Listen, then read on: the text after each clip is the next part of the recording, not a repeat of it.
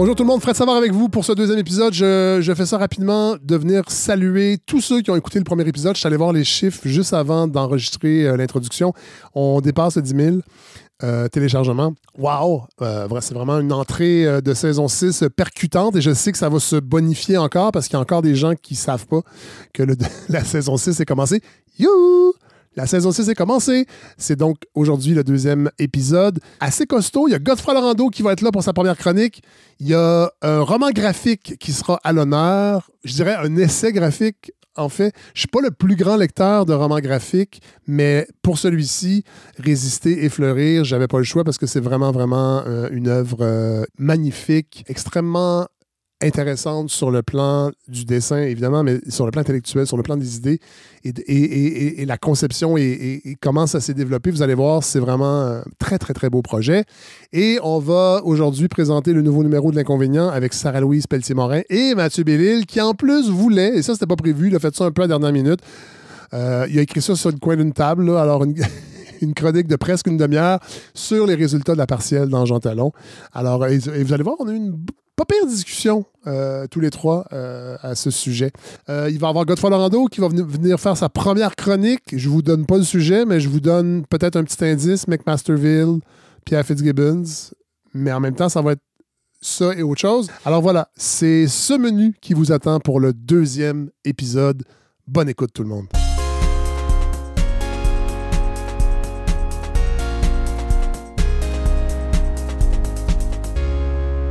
Hein, Mathieu Bellil? Oui, ben oui, bonjour. Très heureux de vous retrouver. Euh, moi demain, moi demain. En partant Quel l'épisode bonheur. comme ça. Ben oui, ben oui. Sarah-Louise. Bonjour Fred. Ça va bien? Oui, très heureuse d'être ici. Pelletier-Morin? Pelletier-Morin.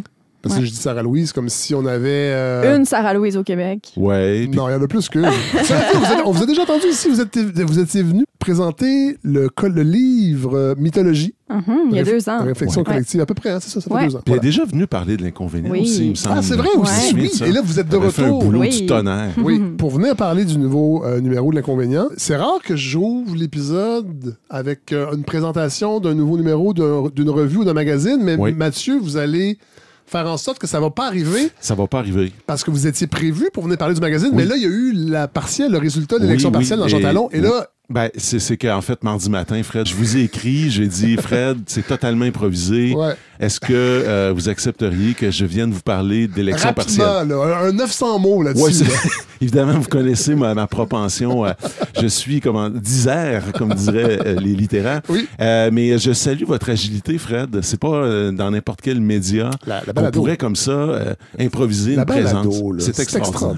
C'est extraordinaire. Alors, je veux parler de l'élection partielle. Il me semblait que c'était de mise aussi parce que, bon, ben, il, il s'est passé des choses. hein. Oui. On a- et depuis également. Alors, Oui. on, euh, on va parler d'abord de la CAQ, qui, qui sont les grands perdants de, et de François Legault, les Oui. grands perdants de la soirée. Et ce qui me frappe dans le discours de François Legault, qui commence d'ailleurs avant que Pierre, Paul Saint-Pierre Plamondon ait terminé le sien. Ah. Hein, il y a beaucoup de gens ont relevé le, le- le- le Ah. petit incident euh, diplomatique ici c'est qu'ils disent à sa candidate Marianique Chouari, ce n'est pas toi, Marianique, qui a perdu, c'est la CAQ et moi. Oui. Et, et c'est dans la CAQ et moi que j'ai entendu un étrange aveu. Mais attendez, euh, vous savez que sur le bulletin de vote, Oui. c'était CAC-équipe François Legault. C'était ça, hein? Ah Oui, oui? oui, oui. OK, OK. Oui. Mais ça, ça c'est drôle parce C'est que... pas très mis de l'avant, mais ça reste qu'il y a deux entités. C'est drôle parce que ça, c'est souvent un truc qu'on voit dans les... euh, Les élections municipales. les- voilà, dans Ouais. les élections municipales. Ouais. Et, et j'ai trouvé... Alors, bien sûr, il y avait quelque chose d'élégant là-dedans. On est avec une personne qui vient de perdre son,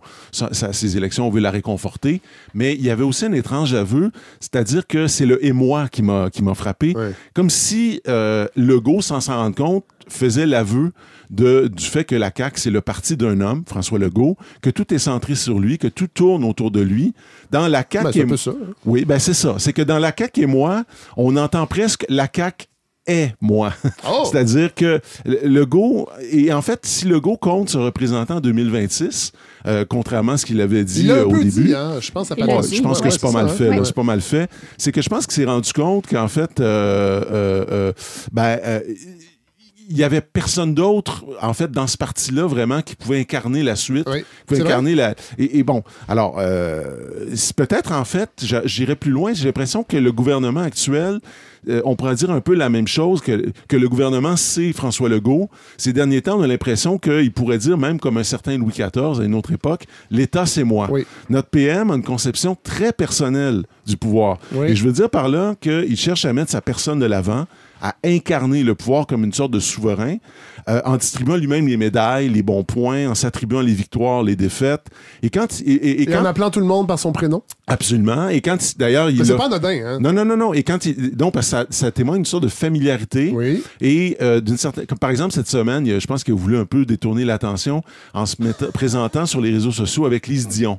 Hein, donc, Ah, j'ai pas vu ça. Alors oui, oui, alors c'était Lise. Vous Hein, êtes beaucoup trop sur les médias Lise, sociaux, euh, euh, on est fiers. Lise, de souligner vos 35 ans Ah, de carrière. ouais. Ah oui. Comme si, dans un sens, c'était une manière de dire l'État approuve cette vedette. Ouais, ouais. Euh, euh, L'État, c'est parce que l'État, c'est moi. Alors, bien sûr, Louis XIV, lui, employait le nous de majesté. François Legault, c'est le on de majesté. Ah, c'est un peu moins glamour. Mais- Alors, autrement dit, quand il affirme à la fin de son point de presse que on va faire un examen de conscience, en fait, il parle essentiellement de lui-même. Oui. Et, et on a vu ce que ça donne parce que. Ça a pas été long, ça Ça n'a pas été long. Euh, à l'évidence, il n'y a pas beaucoup de conscience euh, chez notre premier ministre. Non, en tout cas, on en, f- on en fait vite le tour. Oui. Euh, et c'est tout le problème de ce parti dont on comprend que c'est une sorte de coquille vide. Quand Legault comprend que son parti souffre d'un déficit, par exemple, en matière de culture et de vie intellectuelle, il se dit pas qu'il faut accueillir plus d'intellectuels. Non. Il se dit pas qu'il faut développer une politique ambitieuse, comme par exemple à une autre époque, un Georges-Émile Lapalme Oui. l'avait fait. Oui. Non, euh, il se dit pas qu'il faut com- créer un comité de sages. Il se dit tout simplement que ben, je vais parler des livres que je lis. Oui. Hein? Puis comme ça, tout le monde va pas savoir qu'à la CAQ, qui est une extension de ma personne, on aime ça les livres, Oui. on aime ça les artistes. Euh, c'est un parti qui n'a On pas salue euh, Kevin Lambert au passage. oui, oui, absolument. Et, oui, et ça, c'était très intéressant d'ailleurs que Legault lui-même, on peut pas résumer que c'était lui qui, qui répondait à, à- Lambert, Oui. qui, se, qui se met en jeu dans cette, un débat avec un auteur qui était en désaccord, et à Oui. mon avis, de façon tout à fait légitime, Oui. en désaccord avec l'interprétation politique que Legault faisait. Mais, mais, mais j'ai l'impression que la COVID a fait illusion. C'est-à-dire que on, on ne s'était pas rendu compte à quel point, finalement, il n'y avait pas grand-chose dans, dans ce parti-là. Euh, c'est un parti euh, de gouvernement qui cherche moins à agir qu'à se maintenir au pouvoir. Oui. Et la volte-face spectaculaire, vraiment, de cette semaine à propos du troisième lien, participe de cette logique. C'est-à-dire que Legault n'a consulté, à l'évidence, personne, Non. aucun de ses ministres. C'est tellement Oh, vulgaire. c'est vulgaire. Mais, mais c'est, c'est- ce qui- c'est-à-dire... Et là, je répète, quand je dis ça, c'est pas vulgaire, un style calice. Non, non, non. C'est de mépriser l'intelligence Ben des oui. électeurs de Québec Oui. d'une façon Oui. monumentale. Absolument, absolument d'accord. Peut-être a-t-il parlé à ses proches conseillers Ouais, que voilà. ces gens-là sont payés 2, 3, 400 000 Ouais. à même nos, nos impôts pour euh, jouer le rôle de spin doctor Ouais. sur les réseaux sociaux et à la fois gonfler l'ego de leur patron et alimenter le cynisme. Parce qu'ils sont ultra partisans. J'ai rarement vu Non, ça. non, c'est- Et, et- et- et la CAQ, moi, j'ai l'impression que plus ça va, plus on sent que la CAQ, c'est une sorte de jouet entre les mains de ce premier ministre et de son petit cercle, Ouais, son Cénacle. son, son cénacle, qui, et qui n'a aucun scrupule à jouer avec la confiance de ses alliés les plus proches, c'est-à-dire ses ministres et ses députés. Parce Oui. que, alors, je, veux juste dire qu'on soit Ah, d'accord. Imaginez, non, mais imaginez Bernard Drinville. Ben, Quand il a su ouais. que lien, Ouais.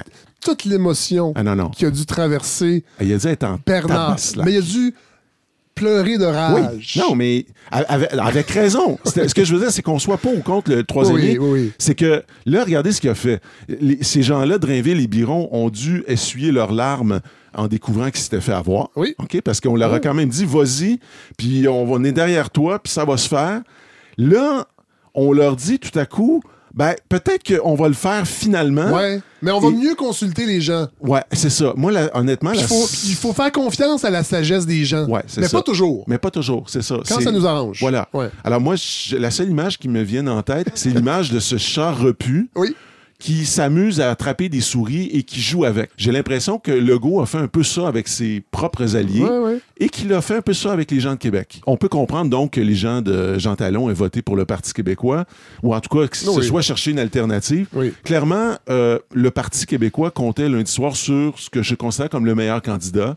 Pascal euh, Paradis, président d'Avocats sans frontières Canada, qui est intéressant pour un candidat du PQ. Oui, mais ça, ça Euh, c'est pas bien ouais. grave. Non, non, non, ben non, on, ben non. on- on peut, on Ben non, peut- on fait des petits clins on d'œil. peut jongler avec Moi, ça non, facilement quand on est indépendantiste. Absolument. On peut, on siéger 30 ans à Ottawa puis se dire quand même très, très, très tanné du Canada. Grand, grand défenseur des droits de la personne, reconnu à l'international, natif de la circon- circonscription de Jean Talon, le fait même que la CAQ l'ait courtisé l'an dernier était une preuve de sa qualité, et c'est pourquoi les tentatives de le salir en début de campagne Ouais, ça, aussi ouais. Euh, ce qui est très intéressant dans cette victoire-là, à mon avis, c'est que Paradis va apporter, je pense... Cela dit, cela dit Ouais. on n'est on n'est pas dans le sein des saints. Parce que Ouais. la rumeur disait Oui. aussi que c'est- le qui s'était candidat. magasiné un petit peu Ouais. lui-même, tu veux dire? Vous voulez dire? Mais, Oui. mais- mais des gens comme ça, des, poli- des, des, des, des députés rotards comme ça, il y en a plus. Non, ben non, ben non, ça n'existe pas. Non, mais moi, ce, qui ce que je trouve intéressant de Paradis, c'est que je pense qu'il va apporter un son de cloche, un à cause de sa formation et de son expérience, Ouais. son de cloche un petit peu différent au PQ, un peu différent de ce qu'on entend euh, du point de vue, disons, des nationalistes conservateurs. Paradis, en tant que défenseur des droits individuels et ouvert aux différences et aux Oh là minorités, là. euh, a quelque chose d'un peu woke. Oui, mais euh, en fait, ça, ça fait partie aussi du problème actuel, je pense, au PQ. C'est que dernièrement, tout ce qui n'est pas 100 150% péquiste passe pour euh, quelque chose de Ouais, dangereux ouais. et déviant. Euh, puis nourrir cette panique morale Oui, autour des ça. identités de genre, Ben, des voilà. toilettes non genrées. Alors, les. Il y a, tu sais, il y a- On, on espère que M. Paradis va peut-être s'asseoir avec les, concepteurs de cette stratégie pour leur dire de Oui. se prendre un petit parce bourré, que la, la- la sortie de PSPP contre ces fameuses toilettes Ouais. avait quelque chose d'assez populiste et amateur. Ouais, ouais. Euh, et je me dis que peut-être Pascal Paradis, l'autre Pascal, assis autour de la table, aurait euh, invité tout le monde à, à la prudence. dit, pour les- juste pour terminer, finir, les, les- les toilettes non genrées, c'est une idée qui est déjà dans le plan de rénovation des écoles qui était permise, tu sais, pour toutes sortes de bonnes raisons. Oui, je veux saluer, saluer ma cousine, Ah. Pascal, qui, qui habite à Rouen-Noranda Oui. et dont les enfants vont à la fameuse école Ah, où ils provoqué. Et savez-vous pourquoi ça a été fait? Ça a été fait pour une raison qui n'avait rien à voir avec Non. la gauche. Voilà. C'est parce qu'il y avait des toilettes des gars étaient sur un étage, Oui. les toilettes des filles étaient sur l'autre. Elles étaient toutes vétustes. Oui. Et pendant qu'on rénovait un étage, fallait que la toilette qui restait soit Oui. mixte. Voilà. Et, et que quand on a fini la- les, les toilettes de l'étage d'en haut, qui sont devenues non genrées parce que, pour des raisons purement pratiques, on a dit on va faire celle d'en bas. Maintenant, est-ce que des parents étaient mal à l'aise avec ça? Peut-être. Oui, peut-être. Mais ça n'avait pas, ça n'avait pas de lien avec un complot Mais non. gauchiste. Tu sais, à un moment Non. donné, il faut quand même retourner aux faits. Là. C'est- voilà. Euh, moi, en tout cas, je, je, je, je- je voulais juste quand même le, le- le dire. euh, la présence de Paradis, j'insiste là-dessus parce que je mise beaucoup sur lui. Oui. Je pense que vous avez compris. Euh, permet peut-être de renouer. Vous avez gagné vos élections dans certain- Jean Talon, Mathieu. Bah, je sais pas. ouais, peut-être, peut-être pas. Je- je- non, je suis assez- reste prudent là-dessus. C'est pas grave. Euh, le- Non, mais moi, je, je- je trouve qu'il y a un petit quelque chose de. J'ai- J'aime beaucoup le sourire dans- de Sarah-Louise. Ouais, Sarah connaît-. Avez-vous gagné qui vos élections, vous Sarah-Louise? Oui, vous n'êtes pas de Québec, vous? Non. Zéro? Non, pas du tout. Ah, je pensais que votre Vous êtes famille d'où, euh, était Sarah-Louise? originaire de Québec? Hmm, un peu. Ah, ok. Bas du c'est ça. fleuve, non? Pas du fleuve. Bas du fleuve. Ah, c'est ça. Ouais. Les gens, les gens osent plus le dire. Mais le bas hein, du fleuve, qui c'est un, viennent de ba- Québec. c'est un bastion, c'est un bastion péquiste, ça, le bas du fleuve, pas mal. Bon, allez, poursuivez. OK. Bon, euh, non, mais euh, je j'ai pen- je pense un peu à Gérald Godin. Il y a quelque chose du péquisme euh, qui se- qui s'est un peu perdu. Euh, il y a encore probablement des gens à gauche au PQ, des gens qui croient à la social-démocratie, qui ont un cœur de rassembler, des gens que l'immigration n'effraie pas Ouais. euh, et qui pensent qu'on peut accueillir la différence sans se renier. Mais hélas, la tribu médiatique qui parle au nom du Ouais, PQ ouais. ces temps-ci n'est pas tellement intéressée Mais, à Mathieu, réfléchir à l'intégration. Je, vous- je vous confirme que ces gens-là existent. Ben oui, ça J'en ai croisé. Ben oui. Ben moi, deux j'en- semaines, je leur des parle. gens qui sont mal à l'aise. Ben moi, je, je- ben oui, Fred, je suis Avec- content que vous le disiez. Oui, oui. Parce que moi, je leur parle à ces gens-là, Ben je, oui. je les connais, puis ils me disent, nous, là, les affaires de non-genrés, ben, on peut- peut-on passer à des questions fondamentales? Fondamentales. Peut-on Ouais. avoir un peu de transcendance? Là, Ouais. tu sais, quand on est rendu dans les chiottes, puis les Ouais. urinoirs, là. OK? Mais Sarah si je peux me permettre, euh, moi j'étudie les polémiques, là, c'est mon sujet de thèse, donc euh, j'ai travaillé sur les polémiques slaves et Kanata, puis ce qu'on observe souvent, c'est que dans des polémiques comme ça, ben ça diffuse euh, des concepts qui sont souvent peu connus, par exemple l'appropriation culturelle, ben, on a eu un gros débat de société autour de l'appropriation Mhm. culturelle, alors que c'était pas du tout connu avant. Fait que là, on va Oui, peut-être se mettre à parler plus des trans, plus de l'identité de genre. Puis je pense que c'est. Des fois, les- polémiques, c'est comme une sorte d'accélérateur de l'histoire. que- hein? vous, Mm. vous dites qu'il y a quelque chose de sain. Oui. Parce Parce que dans le fond, oui. Oui, C'est vrai. c'est Ouais. pas juste délétère. Je pense que oui, il y a beaucoup de confusion en ce moment, puis les, ça clive les gens, mais au Mais fond, on, a, on a un débat de société, puis c'est Ouais, important. ouais, ouais, C'est intéressant. C'est intéressant. Ouais. C'est très intéressant. Très sage. Est-ce que vous allez être sur le comité, euh, Sarah-Louise, de sage? Je trouve qu'elle malheureusement. devrait, il devrait la considérer. Euh, j'ai croisé Louise Arel récemment, Ah. que j'ai croisé à, fait, à Trois-Rivières. OK. Et, et- et- et- et je- c'est juste pour aller dans le sens. Tu sais, elle disait que dans l'histoire du nationalisme au Québec, puis c'est probablement vrai ailleurs, il y a deux sortes de nationalisme. Il y a le nationalisme de conservation Oui. et il y a un nationalisme d'affirmation. Oui. Les deux sont pas nécessairement complètement euh, euh, comment, antithétiques ou incompatibles. Ils peuvent mais- cohabiter. mais elle dit clairement, ces temps-ci, on est dans une logique de conservation, on est dans une logique, dans le fond, défensive, Ouais. plutôt euh, de protection. Et elle, mais elle, elle nous rappelait que dans les années 70, Ouais. le Parti québécois avait traduit son programme en grec, Ouais. en portugais, en espagnol, en italien, en anglais, et tenez-vous bien, là Fred, là. en arabe. Oui, oui, en arabe Ah, quand ça? dans les années 70. Ah, Question de faire de la pédagogie et de rejoindre ceux qu'on appelait alors les, les membres des communautés culturelles. ouais, ouais. Et elle se demandait, est-ce que le PQ de 2023 ferait ça? Eh. Et, et- et- et- et- et honnêtement, poser la question, c'est... Tout à fait. C'est un peu y répondre. En tout cas, la victoire du PQ témoigne de ce qui le distingue de la CAQ. Ça, c'est clair. Envers et malgré tout, le PQ demeure le parti d'un projet, d'un idéal, qui subsiste dans la population à des niveaux qui ressemblent un peu à celui des années pré-référendaires, entre 35 et 40 ce qui fait en sorte que le parti lui-même, contrairement à la CAQ, demeure plus fort ou plus grand que ses chefs. C'est-à-dire que même si on a une mauvaise passe, il n'est Ouais. pas impossible que ça remonte. La CAQ, j'en doute. C'est clair que l'avantage de Pa- Paul Saint-Pierre Plamondon, c'est que s'il parle de la souveraineté, plus il va en parler, plus il va mettre Legault mal à l'aise. Ouais. Parce que je rappelle que Legault était un pressé. On l'appelait ça les caribous, les je caribous, pense. ouais. il était l'auteur du budget de l'an Oui, 1. oui. hein. Oublie- Imaginez Legault obligé de dénigrer Non, non, ce qu'il a euh, encensé. Et puis, il sait que plus il va le faire, plus il y a des gens qui votent pour lui, qui sont en fait des, des souverainistes, Ouais. qui vont peut-être à la... Enfin, revenez. Ouais. Bon, moi, je pense pas que le PQ est sorti du bois, là. Faut, tu sais, faut, non, faut- ben, euh, il, il est encore tôt. Il est trois ans. Ça, il est revenu à la vie. très long. Il y a un soutien Avant financier très généreux. Ouais. Mais franchement, ce qui va dépasser 28-29 dans une élection, j'en doute. Moi, je pense qu'il faut qu'il garde à l'esprit la possibilité d'une alliance qui refasse. Parce qu'il faut faire, refaire des états généraux sur l'avenir du Québec, je sais pas, mais il faut trouver des façons de bâtir des ponts et de pas être tout le temps dans une guerre complètement stérile avec tout ce qu'il y a autour et qui n'est pas le PQ. Euh, J'imagine que vous avez des, QS. des- des choses à dire sur Québec Ouais. solidaire. Ben oui, ben oui. C'est un parti qui traverse actuellement, je crois, une crise de croissance. Euh, ses appuis restent stables, OK, autour de 15, 16, des fois 17. Ouais. Euh, domine chez les plus jeunes. Signe qu'il y a peut-être une possibilité de, de croissance en plus les jeunes arrivent et, et vieillissent. Ouais. Quoique, parfois, quand on vieillit, hein, on commence à gauche dans la vie puis on finit à droite. il y en a- soit. oui. Il y Euh, en a que c'est l'inverse. oui, je sais. Victor Hugo, apparemment. Moi, je- moi, Euh, je, je pense que je suis plus à gauche que je l'ai jamais été dans ma vie. c'est- Pour quelle En raison? Comment Parce que je suis expliquez Je suis fâché du monde qui nous entoure. Ouais, ouais. Ouais. Je vous comprends. Puis Est-ce que c'est un moteur euh, Ah oui. c'est un moteur de changement ou vous vous laissez abattre un peu par cette Euh, par, oh, bonne, c'est par une un question. cynisme? Euh, L'âge de la colère. Ouais, parce que la colère, ça peut se revirer Non, mais la en colère, ça peut devenir de la. Ça non, peut non, être non, un je pense, je pense, que c'est un, mo- un moteur d'action. Ouais. Ouais. Mais je trouve vraiment. En fait, je trouve ça difficile de ne pas être abattu, Ouais. mais je sais qu'il faut pas l'être. Mhm. Non, c'est ça. Parce que si on est abattu, c'est la fin. Voilà. là. Ouais, ouais. Voilà, voilà. On fait des films euh, comme, euh, Comme Denis Arcand. Voilà, on, on on J'arrête pas de penser à Denis Arcand depuis tantôt. on- Non, mais il, est- il est là. Il est toujours là. Denis- Denis- L'esprit de Denis Ouais. veille. Ouais, c'est Mais, ça. euh, J'ai pas les millions de Denis pour Non, être c'est sûr, cynique à ce point-là. Ouais, ouais. Ouais. C'est, on re- on- vous êtes d'accord si je reparle un peu encore de QS? Oui, oui, Ouais, oui. OK. Euh, c'est un- moi, je, je dirais que c'est un parti pour l'instant qui demeure encore essentiellement urbain, euh, chez une classe relativement éduquée, collégiale, universitaire, qui, et qui peine quand même à sortir de Montréal ou à percer en dehors de Montréal. Ce qui s'est passé dans l'histoire de la candidature d'Olivier Bolduc, qui était le candidat dans Jean Talon, là, de QS, Ouais. c'est euh, symptomatique, je pense. C'est de Montréal qui est venu. C'est comme ça que c'est vu, à- Ouais. vu à Québec. C'est de Montréal que venait la consigne de choisir une femme, au mépris de l'association locale, donc des gens de Mais Québec. ça, Mathieu, je, je- Ouais. je- je sais ce que vous allez dire, mais ça se fait dans tous les partis. Ben oui, je sais que mais ça se fait. quand c'est un parti de gauche, on a bien peur.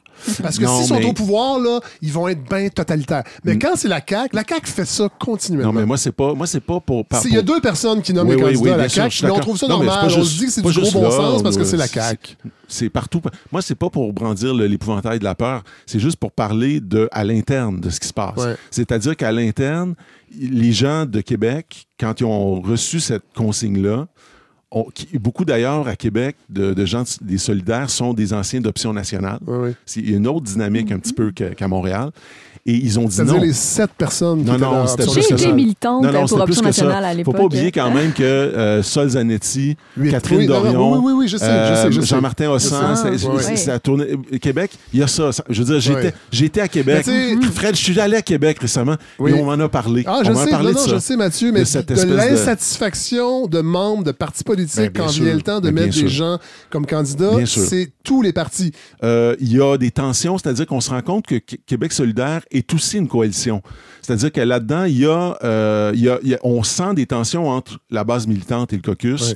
On les sent entre les militants de Montréal et les militants du reste du Québec. On les sent entre les partisans de gens qui disent qu'il faudrait que ce parti-là aille plus à gauche Oui. et d'autres qui disent qu'il faudrait au contraire qu'il Ben se oui. ressentent. Oui.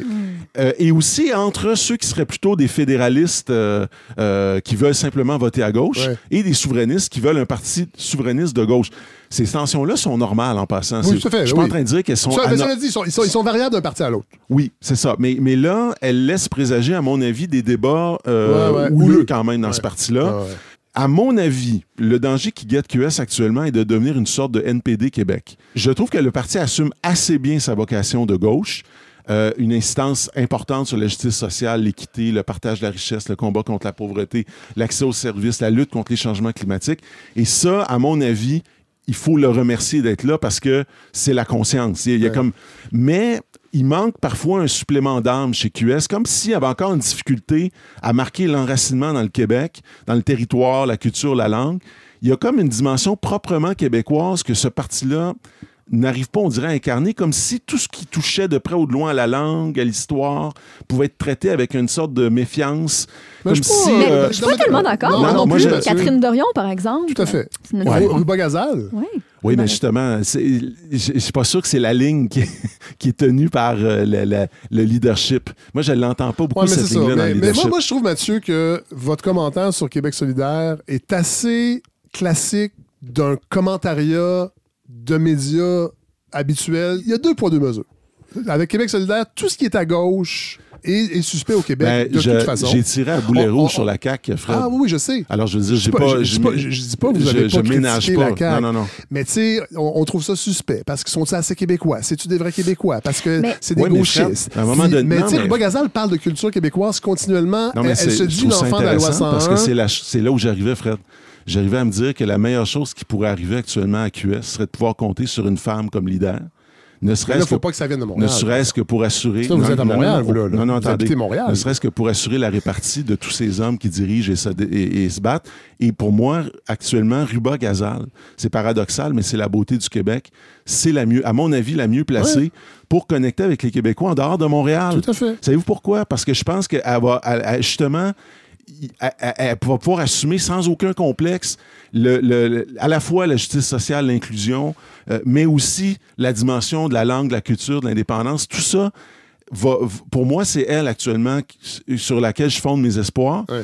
Parce que je pense qu'elle va arriver à parler du elle arrive à parler du Québec et de- du territoire et de, et de l'histoire avec une fraîcheur et avec une perspective qui est à la fois interne et externe. Elle, elle dit souvent que elle a deux nations et aucun pays. Parce qu'elle est palestinienne, mais qu'elle n'a pas le pays de la Palestine, elle l'a pas. Puis qu'elle est québécoise, puis qu'elle n'a pas le Québec. Ouais. Mais ça, c'est- il y a une fraîcheur là-dedans. Ouais. Je sais pas si je vous déstabilise, Fred, parce que là, je sais Non. pas si je, je, je suis toujours dans le commentariat classique et banal euh, Euh, non, j'ai sur pas, QS. Mathieu, j'ai mais- pas dit banal, mais au Québec, Ouais. on a beaucoup de difficultés à parler de la gauche. En fait, la gauche doit être sans, sans eau. Il faut qu'il y ait rien dépasse. Sinon, on a peur de dérapage. A- Alors que pour les Ouais, mais partis... là, Attendez, honnêtement, j'ai l'impression que vous parlez pas de moi, vous parlez d'autres. Ben non, mais dans ce que vous venez de dire par rapport à on les sent, tout ce qui est la langue, le Québec. ben, Ben oui. Mais je pense que c'est votre perception avec vos sensibilités à vous, mais vous n'êtes pas le seul à partager ça. Mais- personnellement, moi, j'ai envie de parler d'Émilise Les- Lessard Terrien, hein, dire- la députée de Rouen. que- Oui, en Abitibi. Ben, C'est formidable le travail qu'elle a fait. C'est Ben, dommage s'est qu'elle n'ait pas été réélue. Ouais. Elle s'est fait tasser par, Par autres. libéral. Mais médiatiquement, je me rappelle d'Alec Castonguay à la soirée électorale qui a quasiment, et Chantal Hébert, Mhm. de dire que c'était une anomalie qu'elle avait été élue. Puis là, les choses sont revenues à la, à la normale. C'était Ouais. un peu ça. Et ça, ça revient souvent. Comme, je vais vous donner un exemple par rapport à la gauche. Pivot, dans un article de Radio-Canada ouais, cette ça. semaine, qui a été traité de médias militants. Mais ça, là, c'est- toujours comme ça qu'on parle de la gauche au Québec. C'est Ouais. jamais juste une, une option politique, Ouais, mais- toujours militant. Oui, mais, ce qui- non, mais la, la ré- la réponse à ça, c'est quoi? Est-ce qu'il faut arrêter de critiquer? Non. Mais pourquoi, quand on parle de Jean de Montréal, on parle jamais de médias militants? Alors qu'il alors Ben, qu'il est avez dirigé raison, par un. C'est milliardaire avec des, avec des Ouais. chroniqueurs acharnés. Jamais qu'un média comme Radio-Canada Ouais, va parler de Jean de Montréal comme un, un- un- un média militant. Ouais, Mais là, et, et, et Pivot a fait un dossier journalistique tout à fait, Ouais. tout à fait de grande qualité sur la crise du logement Ouais, ouais. et au Québec. Et on, on parle encore de médias militants. Ouais, ouais. Parce qu'on a, au Québec, la gauche, ça a été une parenthèse, le PQ. Le, le Québec est une société conservatrice, puis ça paraît encore dans la façon qu'on parle de la gauche. Fait que, tu sais, quand. Oui, mais en même temps, je, je, je, je Tu sais, on en veut à Québec solidaire de pas sortir Non, du mais 17% mais il faudrait, faudrait peut-être se demander comment on en parle de Québec solidaire, puis peut-être que ça nourrit aussi le fait que ça sort pas. Oui, ça, ça se peut, ça. Ça se peut, vous avez, peut-être raison. Mais en même temps, ma critique, euh, je la maintiens. Je, je, Ah, ben, je- vous avez le droit de la maintenir. Je, je pense, je, la maintiens. Et j'ai- comme j'écris, comme j'ai dit, voici les écueils qui guettent le PQ. Ouais. C'est, le conservatisme. Ouais. Voici les écueils qui guettent la Sauf CAQ. que le conservatisme Voici PQ, les écueils. Non, non, mais pardonnez-moi. Ils viennent de gagner. pardonnez-moi. Euh, Voici les écueils qui guettent la CAQ, c'est le parti d'un seul homme. Ouais. Voici les écueils qui guettent QS. Je vois pas pourquoi je, je pourrais pas. C'est-à-dire qu'à un moment donné. Mathieu, vous, vous le faites, faut- je ne vois pas vous, je vois pas vous enlever au montage. là. non, non, non, ben je le sais. Mais en même temps, je vois pas comment on peut faire grandir un mouvement si on n'est pas capable, on n'a pas une liberté Mais vous comprenez qu'un parti de gauche ne va pas devenir conservateur Bien pour sûr. gagner des élections. Bien sûr. Mais c'est c'est un peu ça que vous leur reprochez. De ne pas être assez non, attaché. non, à- justement. de pas être Voilà. assez acheté à la Ben, Ben voilà oui. justement le problème. C'est de dire que la langue, le territoire, c'est nécessairement conservateur. Ça Non, fait partie du problème. Parce que ça veut dire que ces choses-là sont un peu sales pour les gens de gauche. Ça devrait Mais pas. ça, c'est votre opinion, Ben Mathieu, non, mais c'est vous, vous venez de le dire. Il faudrait qu'ils deviennent conservateurs. Je dis vous, mais il y a beaucoup ça présentement dans les médias. On reproche à Québec solidaire d'être à gauche. C'est pour ça que ça marche pas. Puis après ça, on se dit, ouais, mais là, c'est parce qu'ils ont dit ça, puis là, ça, Ouais. mais ils sont pensez- à gauche. Non, mais pensez, dans- au sein même du mouvement, je lisais cette semaine un très beau commentaire de Jonathan Durand-Folco Ouais. euh, qui disait il va falloir que QS s'interroge sur la possibilité d'incarner une forme de populisme de gauche. Oui, ce que Catherine, Catherine Dorion représentait Voilà. très, très bien. Et d'autres, Ouais, et d'autres. Euh, Kadir a fait ça un peu. Euh, mais, mais alors, c'est pas Kadir, ça y a nuit aussi. Dans, dans. Au niveau médiatique. Peut-être. Moi, je vous. Parce que les médias, Mais contrairement à ce que les médias pensent, puis j'en fais partie, là, mais j'ai pas l'impact Mhm. de, de la presse, du genre Montréal, du même. Ouais. du- mais les médias ont un rôle à jouer. Puis rappelez-vous de la taxe sur les ultra-riches. On en a parlé tellement longtemps et on n'a pas parlé du fond. C'est-à-dire Mhm. Ouais. l'assiette fiscale, comment Ouais, elle est répartie. ouais, bien sûr. Mais là, oh, un parti de gauche veut taxer les riches. Oh, attention, totalitarisme. Puis tu sais, juste pour vous dire, euh, je veux dire, euh, les, les- les- les- dans mon comté, là, la, la seule belle option qu'il y avait aux dernières élections, pour moi, c'était QS. Parce que le candidat du PQ, il est arrivé deux semaines avant le, le jour du vote, puis Ouais. il cherchait encore des signatures. Donc, donc tu sais, ça vous donne une idée d'où je me situe. Oui, Sauf qu'à un moment donné, la question se pose. Il, ça se la pose à QS. Là. Je Comment sais, on ben fait oui, pour à fait. sortir de Montréal? Tout à fait. Pour pas être juste le parti de la ligne orange et de Et quelques pourtant- picots. Ouais. Ben Après, je veux Ouais. dire, après, il y a toutes sortes de chemins qu'on peut prendre. Ouais. Mais on peut pas juste dire euh, on a raison, puis les gens, à donné, vont le découvrir. Est-ce que je parle du Parti libéral et des conservateurs? Ben oui, un petit peu. Honnêtement, tout ce que je peux dire sur Ah, eux, c'est que, proportionnellement, ce qui reste d'appui dans la population, ben, Mathieu Bellil. avec des résultats aussi faméliques, franchement, je me demande même pourquoi on continue de parler du Parti libéral du Québec. Ouais. Euh, comme d'une force politique sérieuse, en particulier dans les médias francophones. Parce que chez les francophones, actuellement, ils sont derniers. Ils sont en arrière Ouais, des ouais. conservateurs. Ouais. Et le- je pense que le dernier sondage leur donne 8% chez les francophones, 13% pour les conservateurs. La seule chose qui sauve ce parti de l'insignifiance actuellement, c'est Marois Risky. Oui. brillante critique en, en éducation, Oui. dont on regrette seulement qu'elle ait choisi de travailler au sein d'un parti qui, au fond, euh, traîne tellement de casseroles et de boulets que. Mais elle est libérale, c'est ça. Oui, c'est ça. Qu'est-ce qu'elle fait sinon? Ben, moi, je pense. ben, ben, Elle est libérale. Je Avec euh, les valeurs ouais. libérales. Elle quand même, parti. je la sens quand même plus de gauche, non? Un petit, eh, eh, je dis pas qu'elle n'est pas un peu libérale, mais elle est aussi de gauche Ben, dans sa manière de, de parler d'éducation. non, bien. Ah non, non, non, mais- on peut pas être, ben, on peut pas avoir, on peut pas être de gauche, mais quand même, par exemple, respecter les libertés individuelles. Oui, oui, oui, oui, bien Ben, je sûr. pense que oui. oui, dans ce sens-là, oui, Oui. tout à fait. Hey Mathieu, Ou pas. Oui, merci pour ce moment euh, croustillant. je sens que ça va, ça va barder sur les réseaux sociaux.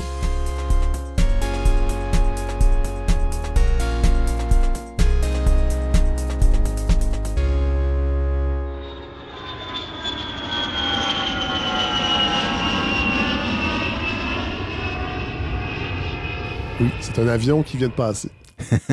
Parce qu'on va parler voyage maintenant, puisque c'est le thème du dernier numéro de l'inconvénient. Puis là, Sarah-Louise, on va vous entendre un peu plus. Mathieu, prenez-vous un verre d'eau, là. Euh, n'allez- n'allez Il n'y a pas d'eau dans ce studio-là. Chacun amène sa gourde. Tu vois, on est très à gauche ici. Chacun amène sa gourde. Son petit mouchoir. Son petit gourde. mouchoir. Euh, donc, euh, numéro 94, Sarah-Louise. Mhm. Ouais. Qu'est-ce que vous faites, vous, déjà, à l'inconvénient? Euh, C'est ça, les gens se disent, qu'est-ce qu'elle fait là? elle? Ben, moi, je suis sur le comité de rédaction. D'ailleurs, on a une nouvelle membre cette année, Oui. Martine Belland, Oui. Oui. hein, qui est prof et euh, vice-rectrice euh, de l'Université Sainte-Anne. Euh, donc, thème, euh, peut-on encore voyager? Question brûlante, sans faire de, mauvais jeu de mots. Comment vous êtes arrivé en réunion? euh, Ben, L'idée de ce numéro-là est, est née l'été dernier euh, durant un Zoom avec des collègues alors que j'étais dans un séjour de recherche en Europe. On s'est mis à parler de notre amour et de notre désamour euh, pour le voyage. Puis ce qui m'a frappé, c'est qu'on avait tous des points de vue très différents sur euh, la meilleure façon de voyager. Par exemple, il y a une personne qui se disait passionnée de voyage au sens strict, là, donc au sens euh, du tourisme. Une autre personne n'avait pas du tout l'attrait du dépaysement et disait avoir besoin de sa routine, de ses objets pour penser, pour écrire. Euh, puis la discussion a bifurqué vers le slow living. hein, donc ouais, cette ouais. manière de, de euh, je vous regarde, euh, ça, c'est quelque chose qui vous, qui ben, vous plaît? non, non, non, ça me fait toujours rire, ces petites tendances-là. Ouais. Euh, slow TV. Slow TV, slow food. certaine, ouais, c'est ça. Donc, slow living, hein, c'est cette manière de reproduire en quelque sorte l'expérience du voyage à Montréal en ralentissant, en prenant le temps d'explorer des nouveaux quartiers, Ouais. en allant chercher son pain à la boulangerie, euh, hein, donc en faisant un parcours différent. Donc, ça rejoint un petit peu le, le propos de, de, de l'éditorial de Mathieu Bellé. Oui. Alors, ce numéro s'inscrit... Ah, Mathieu? oui, ça, Ah ouais, ça- s'inscrit dans l'air du temps. Il y, a, il y a une nouvelle pudeur, une gêne, une culpabilité à prendre l'avion, mais en même temps, on continue à vouloir partir. hein. C'est presque irrépressible comme désir. On veut découvrir le monde et on veut s'exhiber aussi hein, en Ouais. train de voyager. Puis, Ça euh, il y a des gens pour vrai qui. Moi, moi, oui, moi ça. oui, j'allais vous poser la question. Vous, c'est quoi votre rapport au voyage? Est-ce que vous, Ah, vous ben avez moi- la piqûre ou vous êtes... Euh, je, non, j'ai jamais. Ben oui, j'ai voyagé dans ma vie. Mais avec ma blonde, on a eu cette discussion-là. Puis on a décidé, pour les prochaines années, de Hmm. ne pas prendre l'avion. Mhm. Puis je, je peux vous dire que dans mon entourage, il- on n'est pas les seuls. Il y en a qui ont décidé que non, c'est trop important pour eux. Est-ce que ça vous Je, manque? je- je vais. Non, que- que- non, c'est pas- Mais, non, c'est mais pas moi. Attendez, moi, j'ai la chance avec la balado de beaucoup, beaucoup me promener au Québec. Mhm. Et j'ai pas fini. Vous, vous l'incarnez, l'enracinement dans le Mais territoire. vous Et je voyagez d'une autre manière. Ben, c'est ça, Oui, mais il faut mais- suivre Fred Savard. Ouais, c'est ça, le- mais, mais j'ai encore trop d'endroits que j'ai pas vus. Mais on a décidé, je dis pas que je prendrai jamais l'avion dans les dix prochaines années, mais on a, on, on- on en a, on a vraiment cette réflexion-là, puis on n'est pas les seuls dans notre Mais c'est ce qui est formidable aussi au Québec, c'est qu'on peut voyager euh, à travers les routes et pas prendre l'avion puis découvrir Ouais. des territoires mais pour, extraordinaires. mais, Mais- mais pour beaucoup de Québécois, c'est pas ça un. Ouais. Je voyage. peux me permettre, je veux pas être, euh, comment dire, être rabat-joie, mais euh, malheureusement, non, mais malheureusement, Fred, vous êtes trop peu nombreux à penser comme ça parce que Mhm. on a battu un record du Oui. nombre d'avions dans le ciel euh, le 6 juillet Tout à dernier. Il y en a eu, il y en avait au-dessus de 140 000 Ouais. dans le ciel en même sais. temps. Et comme par hasard, le 6 juillet dernier était la journée la plus chaude Oui. jamais enregistrée sur la Terre. Oui. Puis là, j'avoue que nous aussi, on commence vraiment à se demander, là, est-ce qu'on peut continuer? Parce que, puis je me permets juste de rebondir sur un texte formidable à la fin du dossier de Rodolphe Christin. Qui a, fait des livres, qui a Oui. fait des livres sur la question Oui. euh, et qui, lui, dit en fait que la notion même de mobilité dans la modernité, elle a été établie comme une sorte d'idéal. Oui. Puis la mobilité sociale, Oui. la mobilité sur le plan des valeurs, sur le plan des relations, tu sais, toute la notion et et de liberté, d'attache, de, de- bon. Et il dit en fait que la mobilité s'est imposée comme une norme aussi sur le plan du voyage et que même, et moi je trouve ça intéressant parce que je l'ai déjà, j'en ai déjà témoigné, Oui. il y a des gens qui, euh, à une certaine époque, se sentaient presque mal de ne pas voyager Oui. parce que voyager était un, un marqueur social. Tout à fait. Pour dire, regardez, moi j'ai des moyens, Oui. moi je suis une, une personne ouverte, cosmopolite. C'est encore ça.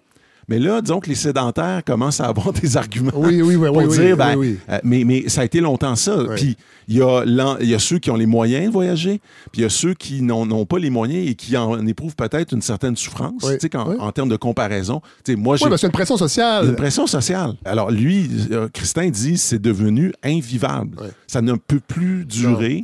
C'est vraiment un texte important, Oui. je pense, dans ce numéro-là, Oui. qui fait écho et réponse à d'autres. Euh, Oui, parce que c'est- Louise c'est- fait un Uh-huh. très beau texte. Ben, euh, ça, elle moi, je- sur autre chose que Je voyager. dirais que j'ai une vision plus romantique. Là. Puis euh, Christin, dans son texte, a cette, euh, cette belle formule. Il compare le voyage avec une dépendance. hein. Il dit le propre des dépendances, c'est euh, c'est une expérience qui est plaisante et à la fois délétère. hein. Et le voyage, c'est Mhm. ça, c'est plaisant et délétère. Ben, moi, en l'occurrence, dans mon texte, là, je parle du côté plaisant. Oui. Euh, mais je m'intéresse moins au voyage au sens strict qu'au séjour, parce que je trouve que c'est la meilleure façon de voyager. Là. Mon texte aurait pu s'int- s'intituler Éloge du séjour. Qu'est-ce que vous voulez dire par, euh, par euh, le séjour, en fait? Bon, le séjour, hein, c'est à mon sens, quelque part entre voyager et habiter. hein. c'est souvent plus Ah oui, long oui, qu'un oui, voyage. Donc, on s'installe quelques mois dans un lieu, mais on est destiné à le quitter. Donc, c'est pas comme habiter. Euh, puis, pour l'avoir vécu à quelques reprises, euh, chaque fois, j'ai remarqué que le mode du séjour, là, en tant que parenthèse, ça faisait naître un état très bénéfique, très stimulant, notamment pour la création. hein. Il y a presque quelque chose d'hypomaniaque dans le séjour, comme si le fait d'aller vivre quelque part euh, durant deux ou trois mois était le moteur du désir, d'une sorte de vitalisme, de libido hein, au sens large. Donc, j'ai écrit des, des courts aphorismes là-dessus. Euh, c'est une espèce de carnet de voyage. Ça faisait 50 pages, puis c'était pas destiné à être publié, là, mais finalement, j'en ai retenu quelques, quelques-uns pour euh, le numéro. Ouais. Il y a un dialogue dans ce, dans ce numéro-là. Mathieu, vous, l'avez dit un peu parce qu'il y a, Oui. il y a- bon, euh, Oui. Yann Hamel Oui. Mhm. fait un texte qui s'appelle Du bon usage et privilèges. Oui. Il est vraiment intéressant. Il est intéressant, Ah. très ironique. Oui. Un Puis- texte cynique, mais qui Oui. évolue, puis qui, qui, qui Oui, oui, mute oui. au fil de la réflexion, qui devient critique, puis Oui. presque lyrique Yann Hamel qui est professeur, disons-le, qui est professeur. Il est Oui, de professeur création littéraire oui, à la. TELUC. Parce que c'est une vraie question qui se pose aussi, parce que tous ces professeurs, là, euh, dont plusieurs nous écoutent et on Oui. les salue, euh, participent à des colloques internationaux, Oui. prennent Ah. beaucoup l'avion. Oui. Puis là, à un moment donné, tu sais, est-ce que ça vaut la peine? Est-ce que. Est-ce que ça vaut la peine d'aller dans un colloque sur le réchauffement climatique en avion pour aller ça. Discuter? Ben oui, Ouais, ben- ouais, Ben oui, c'est ça. Ce que j'aime dans la proposition de Sarah Louise, dans sa réflexion, c'est que dans le séjour, il y a comme au moins une sorte de. Ben, on se déplace pour la peine. Ouais. Mais tous ces petits voyages courts, là, ces sauts euh, de puce euh, Ouais. euh, éclairs là, de 2, 3, 4 jours. Ouais. Sont-ils nécessaires? sont-ils nécessaires? Puis d'ailleurs, il y a un très beau texte dans le numéro aussi de Louis Hamelin qui raconte ce qu'il annonce dans le, livre- dans le texte euh, du, pardon, du numéro comme son dernier voyage à vie. Ouais. Il, il est allé en France. Il y a un petit côté grognon, mais c'est superbement écrit. Puis il nous explique, dans le fond, que euh, il y en a assez, là. Voyagera plus. Ben, moi, j'aime bien, justement, dans le texte de Louis Hamelin, on- il y a comme une, une sorte de romantisme aussi. Hein? Mm. Il parle des oiseaux, de sa visite des cathédrales, puis il revient ici, puis c'est une espèce de choc. hein. Il y a comme une gifle dans son texte. Il revient ici, puis il, il porte son masque, Ouais, son masque ouais. N95 pour, pour aller nettoyer les gouttières, puis l'espèce de retour à la réalité qui est très dur. hein. Dans tous Ouais. les textes, il y a cette question-là du retour, de comment on revient Oui. de voyage, qu'est-ce qu'on Il y a emporte avec souvent ça? la gueule de bois un peu quand on revient. là, Mhm. Ouais. euh, il y a un beau texte aussi dans le numéro de euh, Dominique Garand Oui. qui parle de... Ça, j'ai trouvé ça très intéressant. Il parle de toute cette littérature québécoise, un volet de la littérature québécoise qu'on a un peu négligé depuis 40, 50 ans, qui est ce- cette littérature du voyage. Il y a un livre il y a- qui est paru il y a quelques années d'Isabelle Daunet, c'est un essai qui s'appelait Le roman sans aventure Oui, oui, oui. qui disait en gros que elle, elle constatait que dans le canon la littérature québécoise, Ouais. il y avait comme pas d'espace de place pour l'aventure, il se passait rien. Elle, avait pas tort. Ouais. Sauf que dans mais, mais Dominique Garand, Oui. qui est prof de littérature à l'UQAM, dit ben en fait si on dit qu'il se passe rien, c'est parce qu'on lit on n'a pas lu les bons livres. C'est-à-dire, il y avait tout un. Et il, trou- il dit il y a peut-être quelque chose dans notre manière de traiter l'histoire littéraire Ah oui. qui nous a empêchés de considérer ces livres-là. Parce que, tu sais, on a eu longtemps au Québec une histoire littéraire centrée sur la nation, sur Oui, le, oui. le destin collectif. Puis le voyageur, c'est en gros, c'est un peu le déserteur. C'est celui qui sort, Oui. qui sort du pays. Qui ne s'inscrit pas dans la trame collective. Voilà. Donc, il est suspect. suspect et on ne sait pas quoi en faire. Oui. Et, et Garand dit, en fait, non, il, a- il nous fait découvrir des livres que, jusque dans les années 60, Euh. euh, des livres que- qui, qui paraissent en même temps qu'Hubert Aquin puis que, que- que- que Marie-Claire Blais Ouais. et qu'on a un peu mm, négligé. Sinon, deux, deux, deux textes qui m'ont passionné, qui sont hors Mm. Ouais. sujet du voyage, c'est le texte de Robert Lévesque Ouais. sur L'occasion des- de la réédition des De Lerne? cahiers de Lerne. Je connais pas les- des cahiers de je, connaissais pas les cahiers de Lerne sur Jean Echenoz. Oui, et Schnoz. On dit Echenoz, Ouais, c'est ouais. ça. Euh, Il y en a qui disent Echenoz. Oui, ici, ça se peut. ici, on disait Echenoz. Mais euh, un auteur que j'adore, moi que j'ai Ouais. découvert avec son livre sur Émile Zatopek, le Courir. Mais Oui. le texte de Robert Lévesque est passionnant. Et donc, c'est quoi les cahiers de Lerne, euh, Sarah-Louise? Les cahiers de Lerne, en fait, euh, ils vont publier toutes sortes d'entretiens sur l'auteur. euh, ça va être des, ça va être des, des- des spécialistes de l'œuvre qui vont écrire des textes. Ou va- d'autres ou- écrivains Oui, qui- il va oui. y avoir des inédits aussi des fois. Ça Par exemple, Welbeck, il avait fait un, un abécédaire, Ouais, euh, ouais. toutes sortes de choses comme ça. C'est pas aussi un peu des actes de colloque qui se mêlent là-dedans ou des, des interventions dans Oui, des je pense que oui. Ouais. genre colloque de Ouais. cerisy sur... Puis C'est un bel objet. oui, c'est oui, un oui. gros livre. J'ai vu, j'ai vu magnifique. celui sur Victor Hugo. Il y en a un sur. Marcel Proust aussi, je crois. Et là. Oui, et Robert Lévesque parle donc celui sur Jean. Ouais. Et il y a aussi euh, Geneviève Le Tarte qui parle de Philip Roth. mon autre auteur que j'adore, Philippe Roth. J'ai beaucoup aimé aussi, et, et- et c'est rendu mes préférés quand je lis l'inconvénient, c'est les chroniques de Georges euh, Privet. et Stanley Péan. Ouais. Mm. Ah Il ouais. faut lire, entre autres, c'est à la toute fin, Stanley Péan, sur une, une- une- une réédition ou non, je pense que c'est la première fois qu'on a la- on, on- on met la main sur des enregistrements de John Coltrane et Eric Dolphy Mhm. dans un, un petit club à New York des années 60. Et en tout cas, il y a tout un langage aussi qui est en train de s'élaborer sur le free jazz et sur Mhm.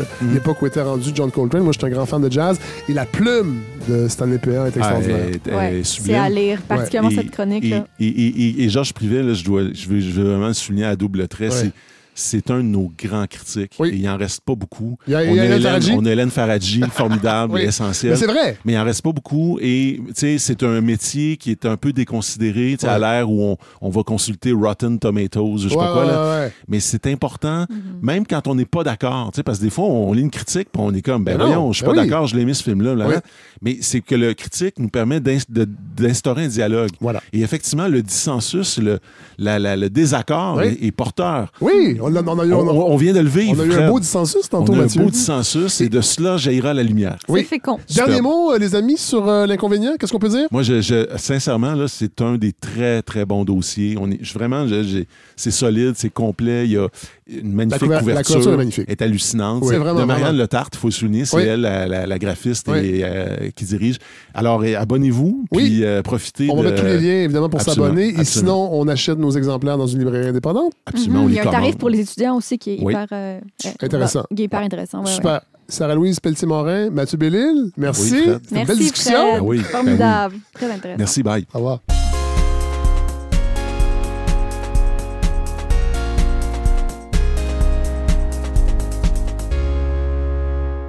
C'est avec grand plaisir que nous retrouvons Rolando!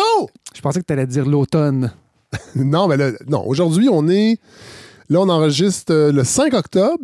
Normalement, les gens, là, on est le 7 samedi quand vous écoutez l'épisode et il fait chaud en petit péché. Oui, et pourtant, si vous êtes rendu samedi, vous êtes sans doute dans un week-end de la- de l'Action de grâce. C'est vrai. Frais et pluvieux. Mais, Mais, oui, euh, Fred, mais de il fait retour. De retour. J'étais pas, euh, j'étais pas très inquiet de votre retour, votre fois, mais quand même.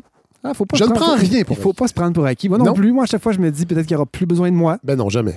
Et ben c'est ça. Je me dis la même chose. Donc, euh, j'avais juste envie de recommencer. Puis, Là, je- euh, encore une fois, Fred, une fois par mois. Oui, Oui. on a trouvé notre air d'aller. Absolument. Puis c'est beaucoup mieux comme ça. Moi, ça me sécurise, euh, puis ça, me, ça, me- ça officialise une date. Moi, j'ai besoin d'une date de tombée. Oui. Ouais, c'est ça. C'est ça, besoin- ça le problème des impôts. Euh, Je suis pas obligé de définir à une date particulière parce que je dois pas d'argent au Ah, gouvernement. oui. Peut-être si j'avais une dette, euh, des intérêts qui commencent, mais euh, ça me prend des dates butoirs. ça ça, ça m'aide. Ça m'aide. Et là, je vous ai envoyé. euh, Salutations à tous les gens qui sont allés à l'école alternative comme moi. Qui ont peut-être besoin de. qui, au lieu d'avoir des cours de mathématiques, écoutaient les Beatles. Exact. fait, fait vécu. Là, là, il y a toutes sortes d'affaires qui se passent Ouais. dans votre champ d'intérêt. Je sais pas trop de quoi vous allez nous parler. J'essaie de me garder un vent de fraîcheur. Ouais. Mais là, il se passe des choses euh, sur la rive sud de Montréal. Ben, il se passe des, il se passe pas encore des choses, à Non. part des belles réunions dans des écoles pour Oui. euh, se faire expliquer par des gens qui connaissent vraiment pas du tout le dossier. Non. euh, mais qui qui- connaissent les gens. De quoi parle-t-on, Fred? Est-ce qu'on pouvait éviter ce sujet-là? C'est la giga-annonce de Oui. la semaine passée. Cette usine de batterie qui vient s'installer, si tout va bien, à McMasterville.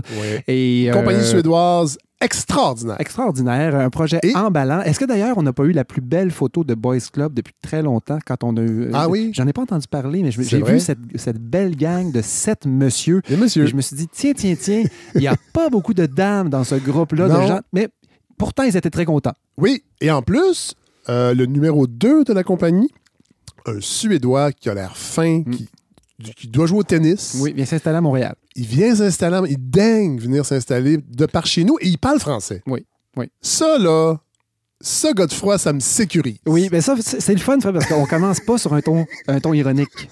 Euh, vous allez être surpris, Fred, parce que je me laisse un peu embobiner par cette histoire de batterie. Parce Ah. non, mais il que, faut, il faut- il faut donner une chance au courant. Ben voilà, fait que je voulais vous en parler, mais avant de commencer de- à parler de notre gros dossier aujourd'hui, Mhm. j'ai quand même un petit retour à faire vers un monde merveilleux, le monde du rêve, le monde de l'hydrogène vert. ah oui. Hum, ah, c'est vrai, vous en avez parlé l'an ben dernier. oui, on en a parlé, puis on avait compris que c'était quelque chose d'excessivement dispendieux qu'il Oui. fallait réserver en gros pour certains types de transports lourds Oui. et des industries qui ne pourront pas s'électrifier. Oui.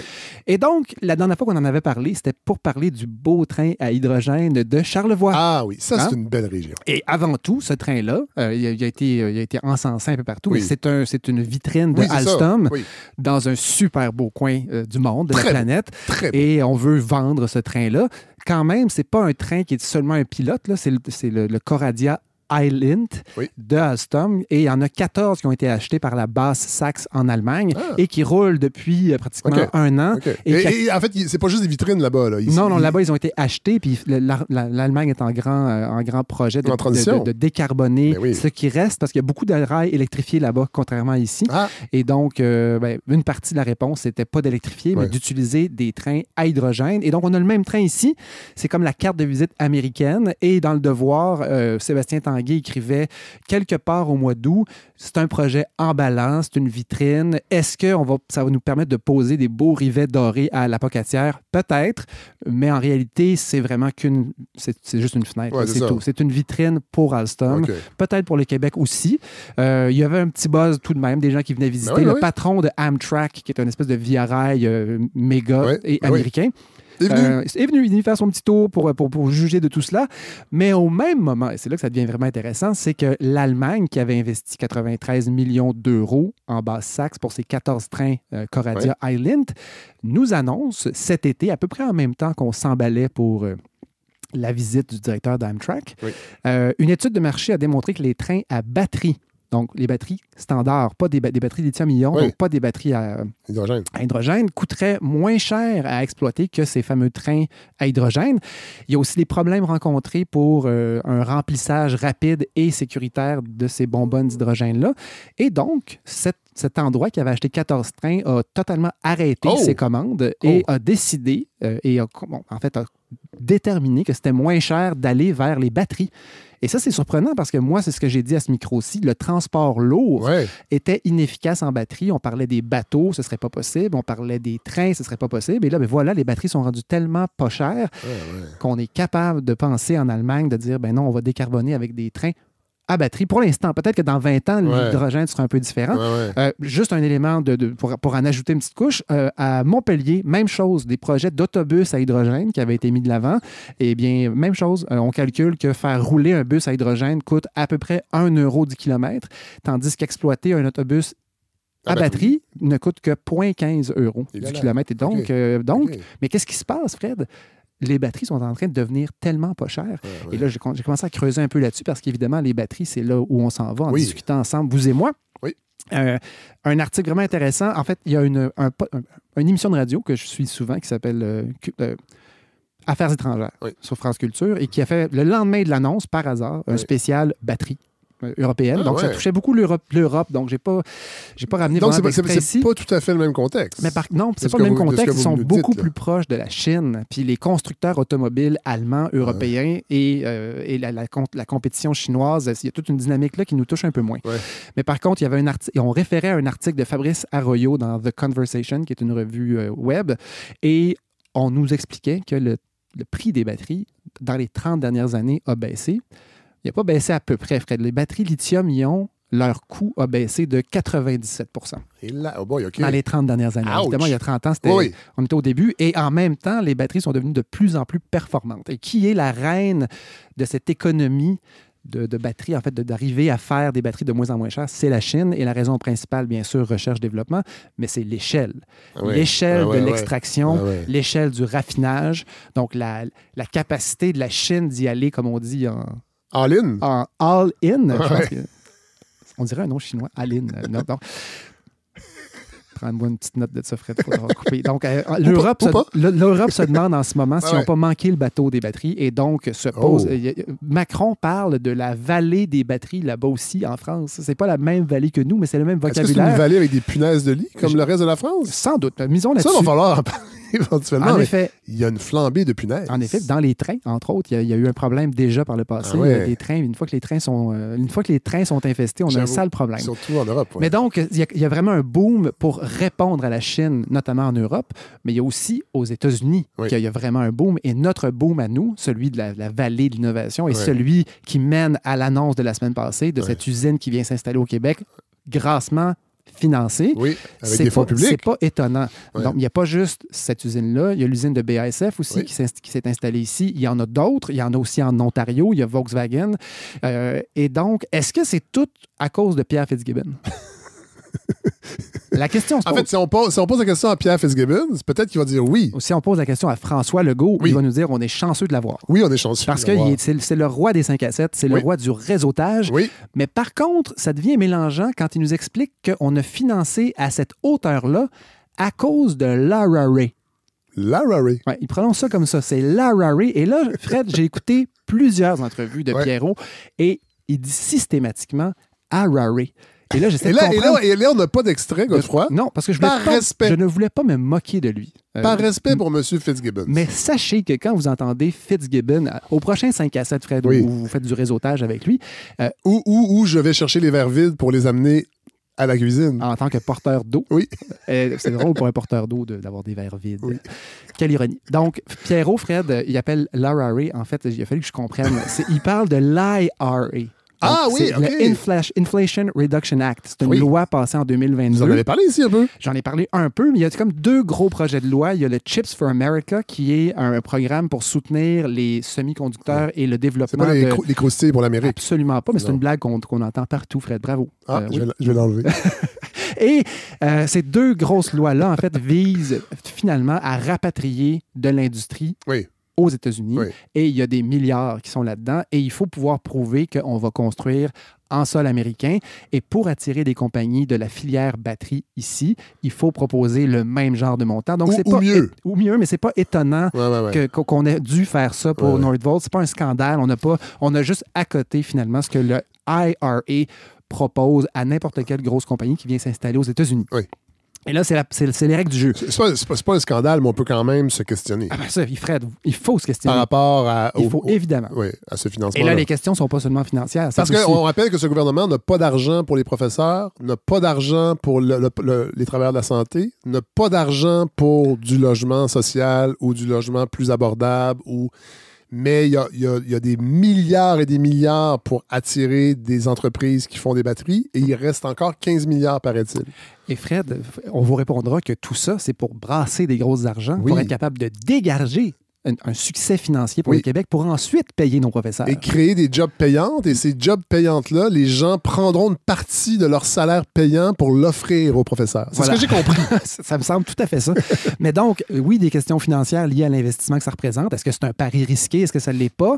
Euh, vous, avez, vous avez sans doute entendu parler de gens qui étaient d'accord avec cet investissement-là, puis d'autres qui Oui. trouvent que c'est une mauvaise idée. dont le monsieur de la Banque nationale. Absolument, qui a été vraiment cité partout. On, on rappelle, God, que votre chronique d'aujourd'hui, on va pas décortiquer cette Non. annonce-là. Cela dit, on va- ça serait le fun éventuellement que vous nous permettiez de comprendre exactement Ne serait-ce que l'aspect vraiment technique de la transformation des- des- et, et aussi la chaîne d'approvisionnement, parce qu'il y a des questions éthiques fondamentales à se poser. Totalement. Et j'en parle un peu aujourd'hui. C'est justement ça Bon. qui est intéressant parce que je voulais pas creuser. Il y, a la, il y a la question environnementale de un, l'empreinte écologique de cette immense usine, Ouais. les impacts sociaux de cette usine-là. On, a, on a parlé de logement, on a parlé de Ben, d'infrastructures. Euh, le- les reportages qu'on a vus en Suède, Oui. euh, les gens, j'ai l'impression qu'ils nous regardaient dans les yeux pour nous dire préparez-vous. Oui. C'est un peu comme la COVID au début en. Italie quand on nous disait vous pouvez pas être prêt pour ça. Non. Ben, les maires de, de, de Ben, villes- ensuite, moi, j'ai entendu un reportage à Radio-Canada. Ça, fait 10 ans puis on nous qu'ils se disait, préparent. ils nous disent préparez-vous Oui. parce que c'est une grosse Mais j'ai affaire. confiance, ça va être bien fait, je Ben, pense. Fred, est-ce on- moi, je parle toujours de la vitesse affaire, la vitesse des affaires. Donc, est-ce, est-ce qu'on se donne le temps de réfléchir si on fonctionne à la vitesse des affaires? La réponse à cette question, c'est la plupart du temps non. Non. Pourtant, il faut le faire. Parce qu'en attendant de voir si on va regretter cet investissement-là, euh, moi, il y a un angle en particulier qui vraiment m'intéresse beaucoup. C'est le, le passage d'un mode d'extraction, ou en tout cas un mode de production qu'on appelle le mode en flux. Si on, parle, si on prend l'exemple du verre, ben, il faut extraire la silice, le sable, faire fondre tout ça, créer du verre, fabriquer des bouteilles et ensuite les sacrer au vidange. Oui. C'est un flux. C'est Oui. une flèche qui part de la terre, notre terre nourricière, Gaïa. Gaïa, et qui finit euh, à- dans une carrière. Oui, Hein? à Et- Blainville. à Blainville en, en- en- en- en matériaux de recouvrement par-dessus d'autres vidanges. On veut passer d'une logique de flux à une logique circulaire. Oui. Et j'en ai parlé souvent. Ben oui, vous aimez ça, vous, le circulaire. J'adore. Vous êtes très circulaire. Je suis très circulaire et je suis surtout cynique parce que je ne vois jamais de traces de ça. Je vois des plans. J'ai entendu des idées absolument fantastiques dont j'avais parlé ici, des architectes qui travaillent sur des ossatures d'édifices qu'on va être capable de démonter dans 75 ans et de réutiliser Ah ouais. parce qu'on pourrait avoir un modèle de construction, mais qui fait ça maintenant, construire, dépenser plus pour ça? Et donc, c'est cet axe-là, moi, que j'avais envie de, de voir parce que dans l'usine de Nordvolt, Oui. il, a est prévu qu'il y ait une zone, une grosse partie qui soit accordée au recyclage des batteries. OK. Et donc, euh, cette vallée de l'innovation dont notre beau François rêve et qu'on voit quand même sortir de terre tranquillement, est-ce qu'on va réfléchir à cette récupération des matériaux critiques? Parce Ouais, que ce qu'il y a dans des batteries, c'est ça qu'il faut comprendre. C'est un peu comme ce qu'il y a dans un moteur électrique. Il y a des matériaux qui ont été raffinés. Oui. Ils sont dans la batterie. Ils sont, on n'a pas besoin d'aller péter un kilomètre cube de terre pour aller chercher Non, un pied carré de cuivre. On peut aller chercher directement une bobine de cuivre et s'en servir. J'ai parlé de, de la fonderie Horn, entre autres, Oui. souvent. Le- eux autres, un des problèmes qu'ils ont, c'est qu'ils ils produisent du cuivre, mais plus à partir de minerais de cuivre. Ils partent, ils partent de concentré de cuivre. Puis il y en a beaucoup que c'est du recyclage de matériel informatique. Oui. Mais à Montréal, on a du raffinage de cuivre. Et là, il y avait potentiellement une boucle du cuivre. Ouais, C'est-à-dire, ouais. on produit du matériel informatique, on, on- on le- on le fait fondre, on, fabrique du cuivre, on le ramène à Montréal, puis on fabrique des fils de cuivre. Des boucles comme ça, il peut en avoir partout. Mais est-ce qu'on pourrait en avoir pour des batteries? Est-ce qu'on est assez intelligent pour penser une usine qui va fonctionner dans 3-4 ans et qui, déjà aujourd'hui, planifierait le recyclage de ce qu'on va produire? Ou est-ce qu'on va plutôt aller chercher tout ça systématiquement dans nos belles forêts pleines de caribous et de bélugas? Bonne question. C'est une Ou- bonne question. Ou en Afrique, là, ouais, bien dans, sûr. dans des, des, des, euh, des mines qui respectent les droits des travailleurs et l'environnement, mais au bout d'une mitraillette. au bout d'une mitraillette et euh, sous, sous des capitaux chinois. Voilà. Voilà. Et donc, euh, là, la question se pose pour nos usines à nous. Mais la question, la vraie question, c'est à l'échelle mondiale. Ouais. C'est- c'est- même- même si notre usine à nous était super bonne, Oui. une usine dans l'univers actuel, c'est rien du tout. Mais est-ce qu'on s'enligne donc pour un immense tas de, vidage, euh, tas de vidange planétaire de batteries désuètes et des millions de kilomètres de terre éventrée au Congo et ailleurs? Ou est-ce que c'est autre chose? Et là, dans le fond, je suis tombé sur un dossier d'un, site web qui s'appelle roulerélectrique.com. Et donc, ça peut sembler évidemment très, très pro-électrique. Et il y a une raison très simple, c'est parce que c'est complètement pro-électrique. Ah, C'est pour ça que ça a l'air de ça.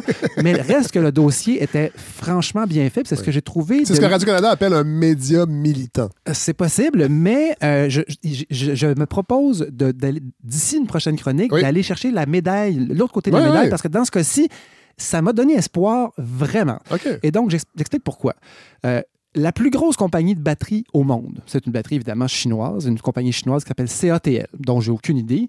Euh, elle a déjà investi, elle, 10 milliards dans des usines exclusivement dédiées au recyclage. Donc 10 Ouais, ok. milliards, c'est beaucoup d'argent. C'est plus que le projet Oui, en Nord- Chine, Nordvolt. en Chine, en Indonésie, et ils ont aussi des plans de, de- de construire d'autres usines de ce type-là aux États-Unis et en Europe. Ça, c'est un élément. Le plus gros producteur de batteries actuelles en Europe, batterie électrique, quel est-elle? Quel est-il? Nordvolt. Ah! C'est celui-là. Collabore avec un des plus grands producteurs d'aluminium au monde pour lancer une usine de recyclage en Norvège d'une compagnie qui va s'appeler Hydrovolt. Alors, Volt, ils ont, euh, ils ont toujours Volt dans leur nom. Ah, et donc, il y a Re- Revolt, Hydrovolt et euh, évidemment euh, Northvolt. Ils vont recycler l'équivalent de 40 000 véhicules, en fait, les batteries de 40 000 véhicules par an. OK. C'est énorme. Tesla pousse également le Il y a une raison pour laquelle ils font ça. C'est parce que c'est payant. Aller si, on, si on réussit à faire l'économie d'échelle dans le recyclage des batteries, on va épargner de l'argent Ouais, au lieu ouais. d'aller creuser ailleurs dans le monde. Ben oui. Tesla pousse également des grosses usines de recyclage de batteries. Au Québec, comme je disais, il y a une partie de l'usine qui est, semble-t-il, dédiée à ça. Et il y a déjà une usine en Suède Oui. dont la portion recyclage de batteries est euh, gigantesque. Donc, si on vise le même genre d'usine ici, c'est intéressant. Ça veut Oui. dire qu'il y aurait vraiment une grosse partie qui serait là. Digne d'intérêt aussi, et j'en ai parlé déjà, c'est une compagnie québécoise qui s'appelle Lithium Recycling. Et donc, ça, c'est une compagnie qui a changé de nom cet été, qui s'appelle maintenant Li- Lithium Technologies. Et eux autres ont une usine à Saint-Jérôme qui Oui. est en train de se terminer. Ils ont déjà fait l'étape pilote, essayer de voir si le processus fonctionne. Ça fonctionne. Là, on est rendu à grossir. Et cet automne, cette usine-là devrait commencer à recycler les batteries de 45 000 voitures à tout près de Montréal. Et Lithium, leur usine, est à 50, kilo- 50 minutes de vélo de Oh. la future usine de, euh, de Northvolt. OK. Donc, à McMasterville. cet article-là dont je parle sur euh, roulerélectrique.com, c'est de Pierre Langlois. Et lui, il continue l'énumération comme ça des grands recycleurs de batteries qui ont déjà de la capacité, d'autres qui sont à venir aussi. Et là, il fait un parallèle, une comparaison entre on va avoir besoin d'en recycler combien? Ouais. Je vous épargne les détails, mais lui dit une voiture électrique, en gros, on peut dire la batterie va durer 12 ans. Et on peut estimer le nombre de véhicules qu'on s'attend à vendre au fil des prochaines années. Et on peut estimer dans ce cas-là combien de batteries. Et lui, ce qu'il dit, c'est que la capacité de recyclage mondial qui est attendue d'ici 5 ans, 10 ans, 15 ans devrait être suffisante pour qu'on arrive à créer une boucle, une circularité des matériaux pour ce qui est des batteries. Et là, ça, moi, c'est la première fois que je lis une analyse comme ça. OK. Lithium, qui a changé de nom, Lithium euh, Technologies, affirme que les autres vont être capables de recycler 95% d'une batterie. C'est énorme. Oui. Euh, Nordvolt sort des chiffres et dit que produire avec de- des minéraux, des minerais tirés de batteries recyclées, ça dégage 80% moins de GES que s'il faut aller l'extraire directement euh, dans des mines au Congo. Euh, Redwood Material, Material, qui est une autre compagnie américaine, qui est une très grosse compagnie, s'est payé le luxe d'une étude scientifique pour voir est-ce que des batteries fabriquées avec du matériel recyclé offrent la même performance Ah oui, qu'une ça, batterie euh, dont, dont- dont on a utilisé la méthode des flux d'extraction normale Oui. ou traditionnelle. Et il n'y a pas de différence au bout de la ligne. Et là, tout ça, moi, généralement, quand on entend un projet comme celui de, de McMasterville, instantanément, moi, j'ai un nuage qui, s'installe Oui. dans ma tête Oui. et je me dis, on est encore dans la consommation. C'est pas vrai que de construire des voitures électriques qui vont remplacer nos voitures Non. à gaz va régler le problème. C'est absolument pas faux. Ah, Ça va, ça va pas. L'auto solo électrique ne va pas régler l'étalement urbain. Ça, par c'est- exemple. C'est une chimère Ouais. qui nous permet de nous dire ça va continuer de bien aller. Et ça, ça, aussitôt que j'entends parler d'une usine de batterie qui va pas servir à ça, Ouais, ouais. je pense à toute l'industrie et je deviens complètement cynique en me disant ça fait juste partie du problème. Mes idées personnelles de décroissance, je n'ai pas du tout d'ambition que ça devienne mondial. Donc, j'en ai pas. J'en parle. Oui. Je fais des efforts. Par contre, l'aspect circulaire, l'aspect recyclage, je suis à la recherche de preuves que ça pourrait fonctionner Ouais, et c'est ça qui se passe, Fred, en ce moment, c'est que je me rends compte que peut-être qu'une des us- des industries mondiales qui aurait un modèle fonctionnel de circularité, ce serait justement l'industrie Ouais. des batteries. Et ça, ça donne que c'est dans ce monde-là qu'on est en train d'investir potentiellement 7 milliards, Ouais. Pas très loin de Montréal. Alors, je ne nie pas qu'il faut être prudent puis qu'il faut avoir au moins un pied sur le frein. Oui. Mais en même temps, ça me fait penser, Fred, à cette vieille expression qu'on appelait à l'époque. Est-ce que c'est les années 90? L'immobilisme. Ah oui, c'est Hein? vrai. Oui. Oui. On était capable fuir de rien. Oui, Ah, faut et- fuir l'im- Et là, l'immobilisme. les projets auxquels je pense, là, c'est des projets de centrales thermiques au gaz naturel pour lesquels le Québec s'était braqué, Oui. pour des casinos à Pointe-Saint-Charles dans des quartiers pauvres, Oui. pour euh, les gaz de schiste. Oui.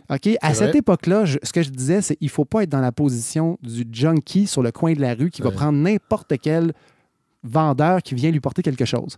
J'ai des projets, là, c'est correct d'avoir les deux pieds sur le frein. Dans ce cas-ci, je me dis, j'ai envie d'y croire. J'ai pas envie de leur faire une confiance absolue. Oui. Cette compagnie-là, Nordvolt, est pas là pour moi. Là. Non, elle est là pour ses profits, Oui. mais elle semble s'incruster dans une industrie, et si on se fie à ce que j'ai lu dans rouleélectrique.com, qui, qui fait ce que je reproche à tout le monde, c'est-à-dire de qui est-ce qui produit une usine aujourd'hui ou il y a ou 20 ans et qui inclut dans son projet une portion recyclage pour éviter d'aller toujours creuser davantage dans nos forêts. Ça n'existait pas. Je ne me rappelle pas d'avoir lu ça, Fred. Et donc, tant qu'à avoir une méga branche, une méga filière qui se développe, mais coudon, celle-là me, me, me dégueule pas. Ouais. Si j'habitais à McMasterville, Fred, Oui. est-ce que j'irais empêcher ce projet-là? Je ne le sais pas. Oui, parce que là, il manque de détails. Cela dit, j'espère Ouais. que vous allez vous y plonger parce que Absolument. il y a déjà moi, des choses que j'aime moins, comme là, on apprenait ce matin, Ben oui, ça sent très, très mauvais. qui vont. euh, Il y a eu des dérogations à des règlements par rapport aux milieux humides pour Ouais. être capable de construire sur des milieux. Tu sais, une, compagnie qui une se dit. demande de dérogation, Oui, ce qui est correct. C'est correct de demander une Oui. dérogation, mais sauf que le- le- ce qui est écrit aujourd'hui dans Radio-Canada ce matin, oui. De c'est Thomas Gerbet. c'est que, L'inévitable Thomas Gerbet. c'est que Nordvolt dit non, non, on n'a pas fait ça. Ouais. Et pourtant, les registres sont là. C'est ça. Alors là, un des éléments que moi j'invoque, c'est la transparence. Oui. Et donc, Et l'histoire aussi des seuils euh, pour, pour, pour avoir un BAP ou non. Il y, a eu des, il y a eu du lobbying qui a été fait. Donc, il y a, il y a cette image publique qu'on veut nous vendre. Ça sent derrière- spécial. C'est ça. Derrière, il y a autre chose. mais ça fait partie de la game. Je, Je dirais, sais. je suis prête à, à- Mais sauf que surveillons-les. Donc, on peut creuser, Oui. on peut s'informer, puis on peut poser les vraies bonnes questions, puis s'assurer que les personnes les plus, les plus articulées, puis les plus solides, pas seulement des gens qui ont peur parce qu'ils vont avoir une grosse usine à côté de chez oui, eux, oui, c'est ça. Des gens articulés, des gens qui vont aller fouiller, puis qui vont pouvoir, avec nous, Fred, Oui. nous, nous outiller pour avoir une discussion à ce sujet-là. Et comme on essaie à chaque fois, finir la journée, surtout le samedi quand la balado de Fred sort, Oui. finir la journée moins niaiseux qu'on l'a commencé. God, merci. Je suis tellement content de vous retrouver. Ça va être une, une très belle saison. Je suis très en feu. Oui, ça paraît? Là, J'aurais- pu vous parler, Fred, des types de batteries. Les LFP, Gardez ça. les pour- batteries solides. Garde- Imaginez-vous, gardez ça. une heure et demie. Vous avez plein, il y a plein de beaux épisodes qui s'en viennent, God. Mhm. Merci. Je vous, je vous garde un 35 minutes, un 45 minutes juste sur une sorte de batterie pour le, le party de fin d'année. Ah oui, c'est pas vrai. le 20 janvier, au Oui, Lion un d'Or. 45 minutes sur la chimie des batteries Et vous jouerez du piano en même temps. en même temps. Ça pourrait être bien le fun. Hey, Ouais. Merci, God. Bye.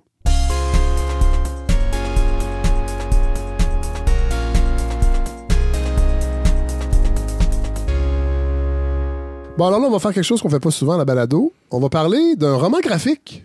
Et j'ai avec moi les deux personnes à l'origine de ce merveilleux projet qui s'appelle Résister, fleurir. Jean-Félix Chénier, bonjour. Bonjour. Joachim Bélanger, bonjour. Bonjour. Euh, je dis ça parce que je suis pas un lecteur. Ah non. beaucoup de romans graphiques. Ok. Puis là, on va parler tantôt du terme roman graphique parce que j'ai l'impression qu'il va falloir inventer peut-être le terme un essai graphique ça se peut, ça. parce que je trouve ça plus approprié particulièrement dans votre projet Résister, fleurir. Euh, Jean-Félix euh, Chénier, vous êtes prof de sciences politiques au Collège Maisonneuve. Yes. Joachim Bélanger, vous êtes peintre, Oui. autodidacte. Tout à fait. Vous avez étudié en design graphique à l'Université du Québec à Montréal. Vous avez, vous avez une carrière en art visuel, on peut dire ça? Ouais, j'ai une carrière. Ouais. Hmm. Est-ce que, est-ce que, est-ce que vous, vous pouvez, je sais que ça n'est pas être à l'aise, mais euh, est-ce que vous avez l'impression que ça va bien? Euh, ça va, ça va quand même très bien. OK. Ça va bien. Non, mais euh, genre, je le dis parce que les arts visuels Ouais, souvent passent sous le radar, Ouais. mais ça va bien. En fait, c'est qu'il faut travailler très fort. Là. Je te dirais que tout, euh, ben, comme beaucoup de choses, comme la danse, tout Oui, ça, c'est oui. qu'à chaque année, il faut recommencer le, Oui. le même défi de, de, de, de produire et de vendre euh, euh, au- en temps réel. là, oui, tout à fait, tout à fait. Donc, Puis c'est euh, des arts plus nichés, entre guillemets. Vous parlez de la danse, c'est pas, c'est pas un hasard. Là. C'est très relié aux arts visuels. C'est quand même des domaines qui sont qui, qui œuvrent dans des sphères un peu plus euh, nichées. Ouais. Je veux qu'on parle de ce, livre- de ce livre-là parce qu'il est vraiment extraordinaire. Puis au début, j'étais pas sûr d'en parler. Parce Mm. que, comme je vous dis, je suis pas je suis pas un grand- tu sais, j'ai beaucoup lu de BD plus jeune, Tintin, Astérix, tatata. Je sais que c- on est ailleurs avec le roman graphique, évidemment. Euh, Jean-Félix, est-ce que vous étiez quelqu'un? Ouais. Je pense que moi, c'est beaucoup de. Tintin, tu l'as dit, là, Oui, Astérix, ça. Lucky Luke. Moi, j'ai commencé par là. Mais euh, je pense que c'est quand même, mettons, dans les 20 dernières années que j'ai plongé dans euh, tu sais, Joe Sacco, Guy Delisle, Ouais, euh, tu sais, euh, des BD qui ont une dimension plus documentaire. Voilà. Parlons de ce projet-là. Le déclic, j'ai l'impression qu'il vient beaucoup de vous. Jean-Félix, vous êtes prof Ouais. euh, au cégep. Et d'ailleurs, au début de Résister, Fleurir, on est beaucoup là-dedans. Euh, c'est la pandémie, je crois, qui a été euh, le déclencheur? Ouais, ben tu sais, il y a plusieurs déclencheurs, mais un, un des premiers déclencheurs, il est visuel, c'est-à-dire que quand on a basculé euh, en Zoom Ouais. dans le contexte de la pandémie, j'ai eu une sorte de vision où est-ce qu'on était chacun dans notre case, puis je trouvais qu'il y avait une dimension très BDesque là. là. Ah ah ouais, c'est intéressant, ça. Euh, mais euh, mais c'est aussi des discussions que, que j'ai avec Joachim, qui est mon voisin depuis longtemps, OK. où on parlait BD, on donc parlait vous vous politique. connaissiez Ben avant ouais, le projet. ah ouais, OK, ouais, OK, ouais, OK. ouais. Arrive la pandémie. Comment résister et fleurir? Parce que ça parle de quelque chose qui que vous avez vécu aussi comme citoyen. Ouais. Peut-être dire euh, Ouais, ben, l'objet de ce livre-là? Ouais, ben c'est dans le cadre d'un cours de sciences politiques. euh, la thématique, moi, je donne des titres à mes cours là, euh, parce que j'ai la prétention d'avoir un propos. Puis le titre du cours, c'était Utopie, dystopie, le point de bascule. Puis je fais réfléchir les étudiants sur le, le passage du, du meilleur au pire quand tu rêves à la société communiste égalitaire puis ça bascule dans un régime totalitaire ou quand tu rêves que le, le marché, c'est le meilleur modèle de coopération possible puis ça vient euh, détruire ton quartier, Ouais. euh, faire exploser les inégalités puis détruire la nature. tu sais. Donc, comment euh, on peut passer du, du meilleur au pire, du pire au meilleur? Puis, dans le cadre de ce cours-là, j'ai une étudiante, Lilou Seili, qui Ouais. a fait un essai extraordinaire, écrit dans une sorte de poésie fantastique, puis qui, qui ressassait toutes les notions du cours.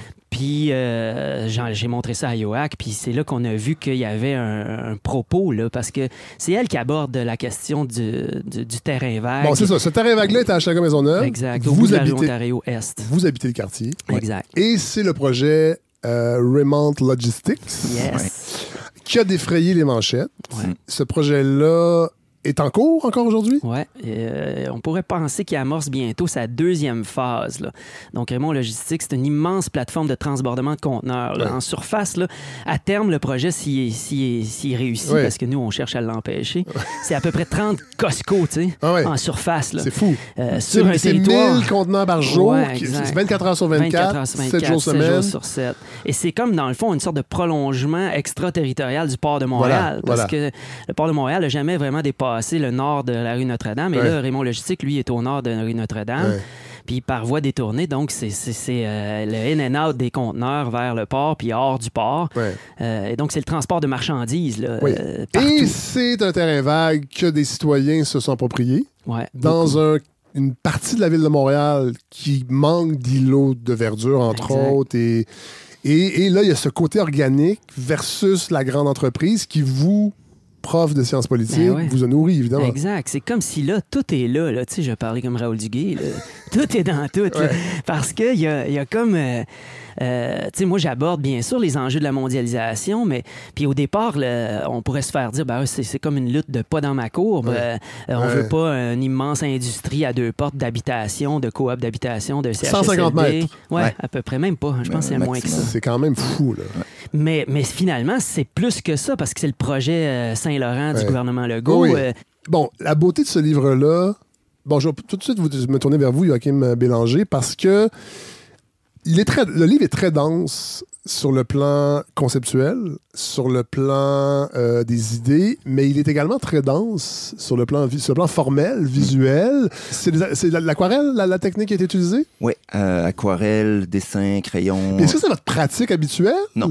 Non, Non. c'est ça. C'est intéressant, ça. Oui, oui, oui, oui, c'est ce qui me fait vraiment du bien aussi, là, de sortir. pourquoi ce de- choix-là? Je trouvais que c'était le médium le plus approprié, puis le plus léger aussi. Je pouvais, euh, pour la première Le fois. plus flexible, en fait? Ben, c'est que je pouvais sortir de mon atelier puis faire ça un peu partout, ce Ah qui ouais. Était jamais arrivé avant. Moi, en général, je peins sur des espèces de grosses plaques de métal. euh, Ah ouais. Fait que c'est un peu compliqué. Puis là, c'était très léger. je pouvais, euh, c'est ça. Donc, euh, petit, les quelques couleurs, euh, crayons, papier, puis euh, un peu partout. euh, ça a pris, euh, ça a comme été un processus de trois ans environ là, de faire ce projet-là. Comment, comment- là, évidemment, là, c'est le, lec- le- le non-lecteur de roman graphique qui va, qui va vous poser la question. Comment on structure l'élaboration d'un projet comme ça. Parce qu'il faut comprendre les gens, euh, les gens qui n'ont pas lu encore le, le roman graphique. La première partie, on. Puis je trouve que c'est beau aussi, vous avez parlé de, de, de, de l'essai de Lilou, c'est que vous présentez la jeunesse collégiale Ouais. D'une façon qu'on qu'on entend peu parler, parce que la Ouais. pandémie, on a beaucoup entendu parler des écrans, d'une jeunesse perdue derrière les écrans. Euh, Il y a eu quand même des cas aussi, euh, puis vous, vous avez, sûrement euh, constaté la même chose, Jean-Félix Chénier en tant que prof, on en a perdu quelques-uns quand même, Ouais. ça a été difficile pour... Ouais. Bon, puis moi je l'ai vécu d'une certaine façon parce que j'ai un ado. Ouais, moi aussi, mon gars. il en a pas- pleine Il a pandémie, décroché, moi, mon gars. Il n'a pas décroché, mais c'était ça n'a pas été facile. Et malgré tout, Résister Fleurir nous présente des, des jeunes vraiment allumés. Ouais. Ah, Ben, ouais. tu sais, moi, exemple, j'ai suivi son cours euh, parce que j'avais accès à toutes les Zooms, tu sais. Ah ouais. Donc, euh, qui est enregistré. Puis là, euh, finalement, d'écouter ça, j'étais vraiment sur le cul aussi de voir Ouais. à quel point il y avait des questions pertinentes, qu'il y avait des échanges hyper riches. Donc, tu sais, on a fait traduire toutes les Zooms en, euh, en texte. Ouais. Puis, on a, on, a, on a pris les meilleurs, euh, les meilleurs extraits. Mais Euh, Jean-Félix, vous dites euh, quelque part au, au début, parce que bon, le livre est euh, subdivisé en trois chapitres. Ouais. Euh, vous parlez que vous voulez pas être un professeur. En fait, vous avez commencé à enseigner en 2001, en septembre Ouais. 2001. Ouais. Ça, j'imagine que ça marque Ben oui, un ça professeur marque. de Sciences Po. Ben oui, je me rappelle encore que c'est des étudiants qui m'ont appris que les avions venaient de frapper Oh. les tours, puis euh, tu réagir sur le qui-vive, qu'est-ce qui s'est passé, etc. Ça m'a, c'est sûr que ça m'a marqué, puis c'était comme, t'avais l'impression d'entrer dans, pas, pas juste sur le plan temporel dans un nouveau siècle, mais sur le plan, du paradigme. Tout à fait, tout à fait. On savait pas ce qu'il y avait Ouais, debout de on- ça. là. On savait qu'on changeait d'époque, en tout cas, ouais. Et vous dites dans, dans, dans, dans Résister Fleurir assez tôt que votre pratique, la pandémie aussi, vous a, vous a forcé à réfléchir à votre pratique de prof. Vous aviez l'impression un peu de servir à rien. Ben ouais. Et vous vouliez pas être un professeur? de désespoir. hein. C'est comme Ouais. si je, je cite un peu Nancy Houston qui a déjà écrit un livre là-dessus. C'est que je trouve que, ouais, dans le contexte des changements climatiques, moi, euh, je veux dire, je veux pas non plus euh, me mettre à, à- à disserter uniquement sur une sorte d'avenir bloqué. Puis j'ai perdu confiance quand même pas mal dans les institutions aussi, si je le dis dès le départ. hein. Moi, de 2012, ça m'a marqué. J'ai beaucoup milité, moi, pour la Ouais. réforme du mode de scrutin, puis on s'est-tu fait avoir avec Tout ça? fait. Donc, tu sais, à un moment donné, il y, a un- il y a un risque, c'est que ma, ma perspective, qui, est- qui, qui effectivement devient de plus en plus sombre, je veux pas la transmettre à cette jeunesse-là qui vit dans une époque encore plus difficile. Fait que c'est pour ça aussi la thématique utopie, elle permettait de rêver à, à quelque chose de beau. Puis euh, ce qui était beau, euh, justement, c'est on a coupé beaucoup de pages hein, dans les échanges étudiants, mais tu te rends compte que l'utopie est pas si utopiste que ça parce qu'ils rêvent quand même pas mal à des choses semblables, les Ouais, étudiants. ouais. Fait que, tu sais, c'est- pas impossible si tout le monde rêve à la même chose. C'est vrai, fait qu'il y avait quelque chose de beau dans, dans le- le- le- toute la partie sur l'utopie. Puis la partie sur la dystopie est là pour les faire réfléchir ou là où on veut pas aller. Fait que c'est intéressant aussi. C'est comme un avertissement. Vous dites même que l'essai de Lilou, qui euh, parcourt le, roman graphique, ça a été un, un- un choc et professionnel et personnel? Ouais, ouais, parce que d'abord, c'est une écriture extraordinaire. Puis parce qu'il y a quelque chose de très subtil dans son écriture, parce qu'elle n'est pas scolaire dans son approche. Moi, c'est ça que je voulais. C'était un essai que je voulais qu'il fasse, parce que l'essai correspond un peu à l'utopie aussi. Là. Ah ben oui. Euh, c'est On- c'est une on veut changer le monde. tentative, Ben ouais, oui. mais, mais c'est une tentative qui n'est pas totalement terminée. C'est ça un peu la leçon, Ouais, de, ouais. la leçon de Robert Musil. L'utopie, c'est pas un but, c'est une direction. faut pas que ça soit tout fait parce que sinon ça devient trop rigide. Ouais. Fait que l'essai, c'est ça. C'est on avance à tâtons. Ouais. On pose mais, des questions. Mais elle n'était pas scolaire dans son approche. elle- C'était plein de subtilités, mais il y avait toutes les références que j'avais demandé qu'il y ait. Puis euh, ça portait sur le terrain vague. Donc, euh, ça m'a fait connaître ce terrain-là. Moi, je veux dire, j'ai- commencé à militer pour euh, la défense de ce terrain-là à la suite de la Ah, lecture de, s- de, de l'essai de Lilou. Fait que, ouais, c'est une transformation. Wow. Là, je suis militant dans cette Ouais, euh, ouais. lutte-là. là. Ouais, vous avez même des t-shirts, les gens ne voient pas, il y a des t-shirts, il y a de la merch. Si on veut supporter. ouais, euh, mobilisation 6600. Cela dit, dans Résister Fleurir, euh, Jean-Félix, vous avez quand même ce souci de pas être dans le dogmatisme. Euh, Puis là, je- j'en parle parce qu'on est dans une, pa- une panique morale actuellement par rapport aux identités de genre dans les écoles. Mais euh, on entend souvent qu'il se passe des choses troublantes dans les cégeps parce que les profs de gauche... Vous avez eu cette réflexion-là aussi de pas tomber dans votre pratique de professeur dans dans ce côté dogmatique, Ben ouais. tout en respectant vos idéaux. Ben ouais. Moi, je, en fait, je, je dis un peu à un moment donné quelque chose comme je veux accompagner les étudiants dans leurs aspirations. Ça veut pas dire que je vais être complaisant avec eux. Mais non. Je vais, je vais les questionner, je vais les confronter, mais je veux quand même être à l'écoute de leurs paroles, puis je veux qu'elles servent aussi à mon enseignement. C'est pour ça que dans le, dans le cadre des cours que, tu sais, j'ai donné trois fois ce cours-là, trois sessions différentes, là, Ouais. ben, euh, à chaque session, je faisais lire des travaux des étudiants antérieurs Ah ouais. aux, aux aux éditions subséquentes. Ouais. Fait qu'ils ils voyaient un peu le, le genre de réflexion les meilleurs. Ouais.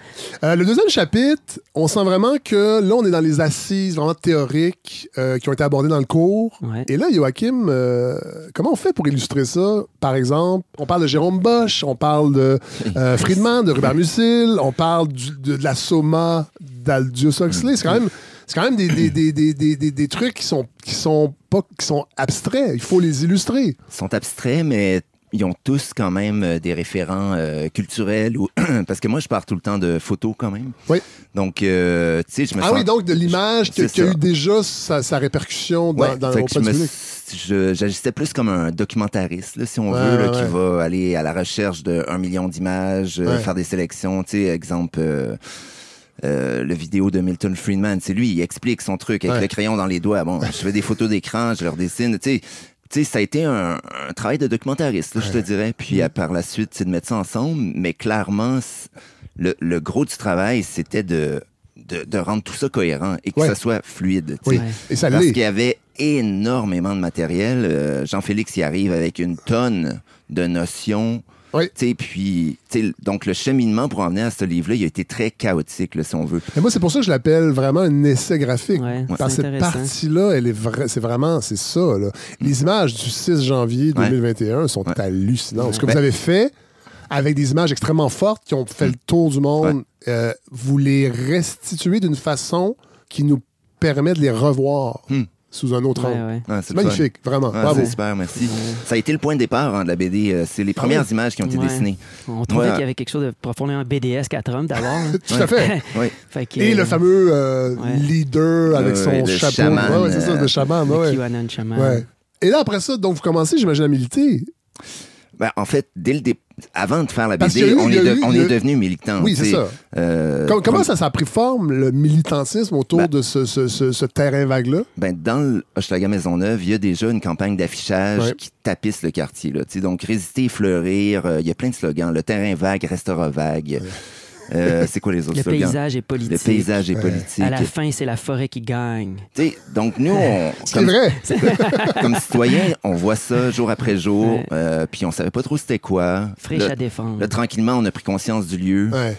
Puis après, ça a été aussi réellement un, comment dire, un attachement qui est né au lieu. ouais. Tu te balades euh, là-dessus, il y a, y a Parlons, vrai- parlons, parlons Ben, c'est du ça. lieu. La friche, c'est des arbres qui poussent au travers du chemin de fer. Ouais. C'est euh, de la végétation, une végétation incroyable. euh, un îlot de paix. euh, tout le monde est respectueux. Puis là, c'est là qu'après, tu, on est tombé sur la mobilisation 6600, qui, eux, militent comme des enragés là, depuis euh, combien d'années? C'est là? 2016 qui sont 2016. vraiment... Ah ouais. C'est Oui, parce que ce terrain-là a été convoité par Hydro-Québec à une Ouais. certaine époque. Ouais. La Ville de Montréal l'a racheté. Euh, là, après ça, euh, Raymond Logistique, Ouais. euh, qui a acheté à peu près en 2016. C'est Ouais. là que c'est là que les citoyens ont dit qu'est-ce qu'ils vont Ouais. établir là. Puis là, ben, ils, ont cher- ils ont forcé des consultations publiques, puis ils ont, re- ils ont réussi à retarder jusqu'à Ouais. récemment l'établissement de l'en- de l'entreprise. Il y a deux grands boisés aussi que, en luttant, dans le fond, on a, on a peut-être en train de perdre une partie du territoire que Raymond Logistique occupe, mais en luttant, on a préservé le boisé Vimont qui est au bout de la rue Adam, puis le- une partie du boisé Steinberg qui est euh, proche de l'Assomption Hochelaga. Euh, puis on veut maintenant les connecter. Donc, c'est une lutte de territoire. Hein? Fait que bout par bout, on connecte des, des territoires. Puis on n'abandonne pas. C'est pas parce que Raymond euh, s'est établi qu'il Ouais. ne crissera pas son camp éventuellement. Parce que. D'ailleurs, il y a- il y a, un c'est ça qu'on passage sur l'expropriation Ben ouais. qui est intéressant. Ben Ouais. Parce qu'on en parle d'expropriation présentement Mm. à plusieurs niveaux pour le, la, la ligne bleue. Et euh, c'est toujours les mêmes, en, fond- en fait, qui se font exproprier. Exact. Puis ça, je- moi, je l'ai posé à Stephen Guilbeault, cette question-là. Oui. Je l'évoque. À l'époque, il était ministre ou avant? À l'époque, il était Ouais. déjà ministre. là. Ouais. Puis euh, c'est- il a répondu ça, hein, c'est plus compliqué que vous dites. Ben ouais, c'est pas si compliqué que ça d'exproprier la famille Blanchette à Forillon, puis Ouais. d'exproprier les sans-pouvoirs, entre guillemets. Ouais. Mais exproprier un immense pouvoir privé pour le bénéfice des populations fragilisées, ça, vous le faites pas, par Ouais. exemple. Ouais. Voilà. le silence euh, est assourdissant. Le chapitre 3 nous plonge, bon, on en parle de la résistance de ces acteurs et ces actrices. Est-ce qu'il y a eu des, est-ce qu'il y a eu des réserves quand vous êtes arrivé dans ce projet-là qui aurait pu être euh, tout à fait euh, pas de- Ben, normal? On a euh, gardé tout. contact beaucoup avec les gens de la lutte. C'est beaucoup des filles qui sont au cœur de cette ouais. lutte-là. Mais ça, on s'en rend compte de plus en plus. Hein? Ouais, ouais. Le, le rôle des femmes Ah, ouais. dans, les, dans ces luttes-là de Ouais. territoire, on se rend compte que c'est un combat que les femmes mènent. Puis, a- Plus efficacement?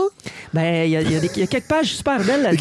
Que- à la maison. Où est-ce que euh, je pense que c'est Lilou qui dit ça dans, dans le chapitre 3, tu sais, on, on- on fait un long dialogue dans la, dans la friche, dans le terrain vague, Ouais.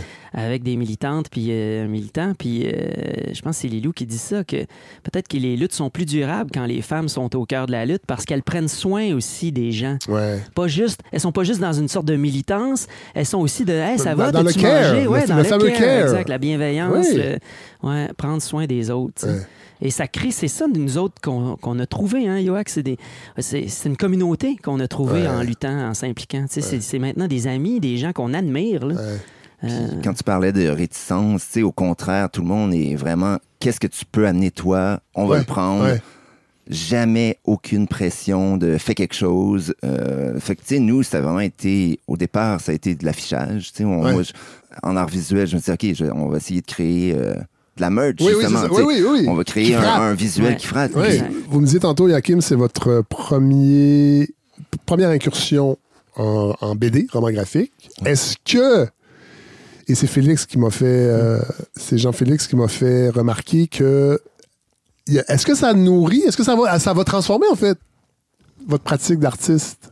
Oui, ben c'est sûr. C'est sûr, dans le sens aussi que euh, qu'est-ce que j'ai envie de dire réellement? Tu sais, ça, c'est quand même une question que tu te poses euh, toute ta vie. Là. Ah oui. Euh, qu'est-ce que tu dis et pourquoi tu le dis? Puis ça, il y avait quand même un petit vide. Là. Puis j'imagine que, puis là, je connais pas bien la. la- je suis pas un gars de- des arts d'art visuel dans Ouais. la vie. Moi, je suis très. Beaucoup, ça se passe par l'oreille ou Ouais. par la lecture. Bon, j'imagine qu'on est souvent dans le ressenti, l'émotion, l'abstraction, jouer simplement sur le plan formel avec le matériau.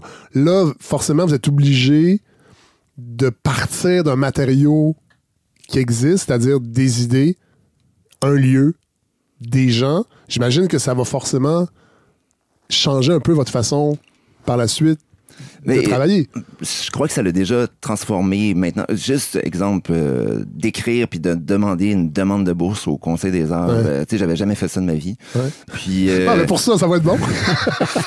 Puis là, ça a ouvert ces portes-là, mais dans le sens aussi de, de projets qui sont plus. euh, parce que tu sais, tu fais pas ça pour l'argent de BD. Hein. Non, non, non. Euh, donc, tu sais, il faut Contrairement aux arts visuels, qui sont super payants pour tout le monde. Voilà, voilà. mais euh, non, c'est ça. Mais, euh, mais par contre, euh, en art visuel, tu peux euh, espérer avoir une vente, euh, Oui, oui. puis faire X montant, tu sais. Oui, tandis que là, la BD, Tu peux rentrer dans le grand circuit. c'est ça. Tu peux espérer rentrer dans le grand circuit. Exactement. Ouais, ouais. Est-ce que vous y êtes dans ce circuit-là? Pour certains, je, pour certains, OK. pour d'autres, euh, Non. non. Mais euh, donc, euh, donc, euh, fait Ce médium-là vous a quand même nourri. ça me nourrit, mais Ouais. vraiment, vraiment. Tu sais, en fait, moi, ce que je trouve génial avec ça, c'est de pouvoir rentrer dans l'intimité de Monsieur, Madame, tout le monde. Tu sais, exemple, je fais une- de la peinture. Ben, la peinture s'adresse aux privilégiés qui, Ah ont, ouais. qui ont de l'argent. Tout à fait. Puis ça a toujours été ça un dilemme quand même de moi je veux m'exprimer euh, au plus de monde possible Ouais, puis ouais. euh, vouloir dire quelque chose et ça le médium de la BD je trouve que c'est la une des meilleures façons Tout à tu sais. fait. donc On peut euh, aller loin. En tout cas, je sens que sur le plan euh, artistique, on peut aller Ouais. loin. on Ouais, peut ouais. aller extrêmement loin on C'est peut cool, dire ça. Même sur le beaucoup de choses et tu sais le roman graphique ou la BD euh, en fait c'est que tu peux faire un, un film de, de 500 millions euh, avec une, table à dessin puis euh, puis un petit euh, Et deux qui vont peut-être devenir un film. ouais et il y en a suite. question d'ailleurs aussi pour résister fleurir Ah ouais? Ouais. Oh! il y en a question mais euh, série, série télé ou un film? C'est en développement, mais il y, a- il y a du monde qui sont intéressés à peut-être euh, faire un projet. Là, euh, attention. Arrangez-vous pas pour que cet îlot-là devienne ultra fréquenté, qu'on en fasse un parc d'attractions. avec des t-shirts. Ouais, mais ça serait des, Des ça, tasses. ça serait, barbe à ça, serait, ça serait quand même déjà mieux que- Oui, qu'un oui. gros à stationnement à, plein de containers. Tout à fait. Snack, snack bar chez Raymond. on- On a envie d'aller le voir, ce terrain-là. Ben, quand faut. on lit Résister fleurir, on a vraiment envie. C'est peut-être En le fait, geste politique le plus simple à faire, c'est d'aller marcher sur ce terrain-là. Ouais. On rappelle, il est où exactement? Au bout de la rue Ontario-Ouest, vous rentrez par euh, juste après Vio, l'autre ça, bord de la Ok. clôture. Ontario se termine, puis un petit rond-point. Je vous le euh, dis, y a du monde qui nous écoute. Là. Watch out. Mais c'est c'est C'est parfait. une bonne place pour promener C'est son parfait. chien, faire un petit jogging. euh, Est-ce qu'il y a du euh, stationnement? Oui! Est-ce qu'on peut y aller en auto? Il y a même une station Bixi pas loin. Ah, mais là, extraordinaire. Messieurs, Jean-Félix Chénier, euh, Joachim Bélanger, merci d'être venus nous présenter. Puis c'est une première, je pense. C'est vrai? J'ai jamais parlé de roman graphique. Ben Génial. J'aimerais plus le faire. Il y a toute une confrérie au Québec. Je là, de sais, je sais. Résister fleurir, c'est disponible dans toute librairie indépendante. Achetez pas ça chez Costco. Hey, merci. Eh, merci beaucoup.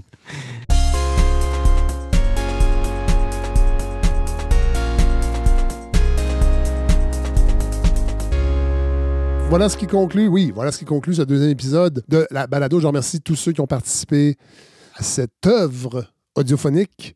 Godefroy Laurando, Mathieu Bellil, Sarah-Louise Pelletier-Morin, Jean-Félix Chénier et Joachim Bélanger. Et je remercie aussi quelqu'un que vous n'avez pas entendu, mais qu'en même temps, vous avez entendu, Benoît Paradis, qui m'a écrit la semaine dernière pour me parler un peu de la qualité sonore euh, de la balado. Et c'est intéressant parce qu'il m'a pas dit ah, c'est ça sonne vraiment pas bien.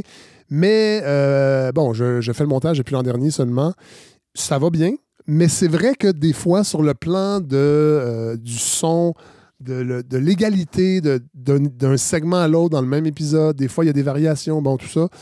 C'est vraiment un métier de faire du montage audio et je suis en train de l'apprendre et il, m'a offert son aide pour peaufiner, faire ce qu'on appelle euh, en, bon français du fine-tuning. Et j'espère qu'aujourd'hui, ça a apparu, les, enseignements qu'il m'a offerts. Il va avoir encore euh, une petite période de- d'amélioration parce que j'étais un peu intense dans la vie, vous vous en doutez peut-être. On ne décide pas de complètement arrêter et de fumer et de boire de l'alcool parce qu'on n'est pas intense. Alors, cette, cette, cette intensité-là est encore là. Et j'ai envie vraiment de, des fois de, de- la faire vivre au, au niveau de la qualité sonore de cette balado qui a encore euh, de l'espace pour se bonifier. Puis, paf, tombe un peu du ciel ce courriel d'un auditeur de balado. Alors, euh, Benoît Paradis, je te remercie du temps que tu as pris. On va encore euh, jouer avec certains réglages, mais je pense que, en tout cas, ça, va être beaucoup plus. euh, il va y avoir moins de surprises, des fois, dans vos, oreilles, d'un segment à l'autre, avec des fois des bouts. où, ça, ça, ça sature, et bon, c'est des technicalités, mais tout ça pour dire que c'est vraiment, vraiment apprécié.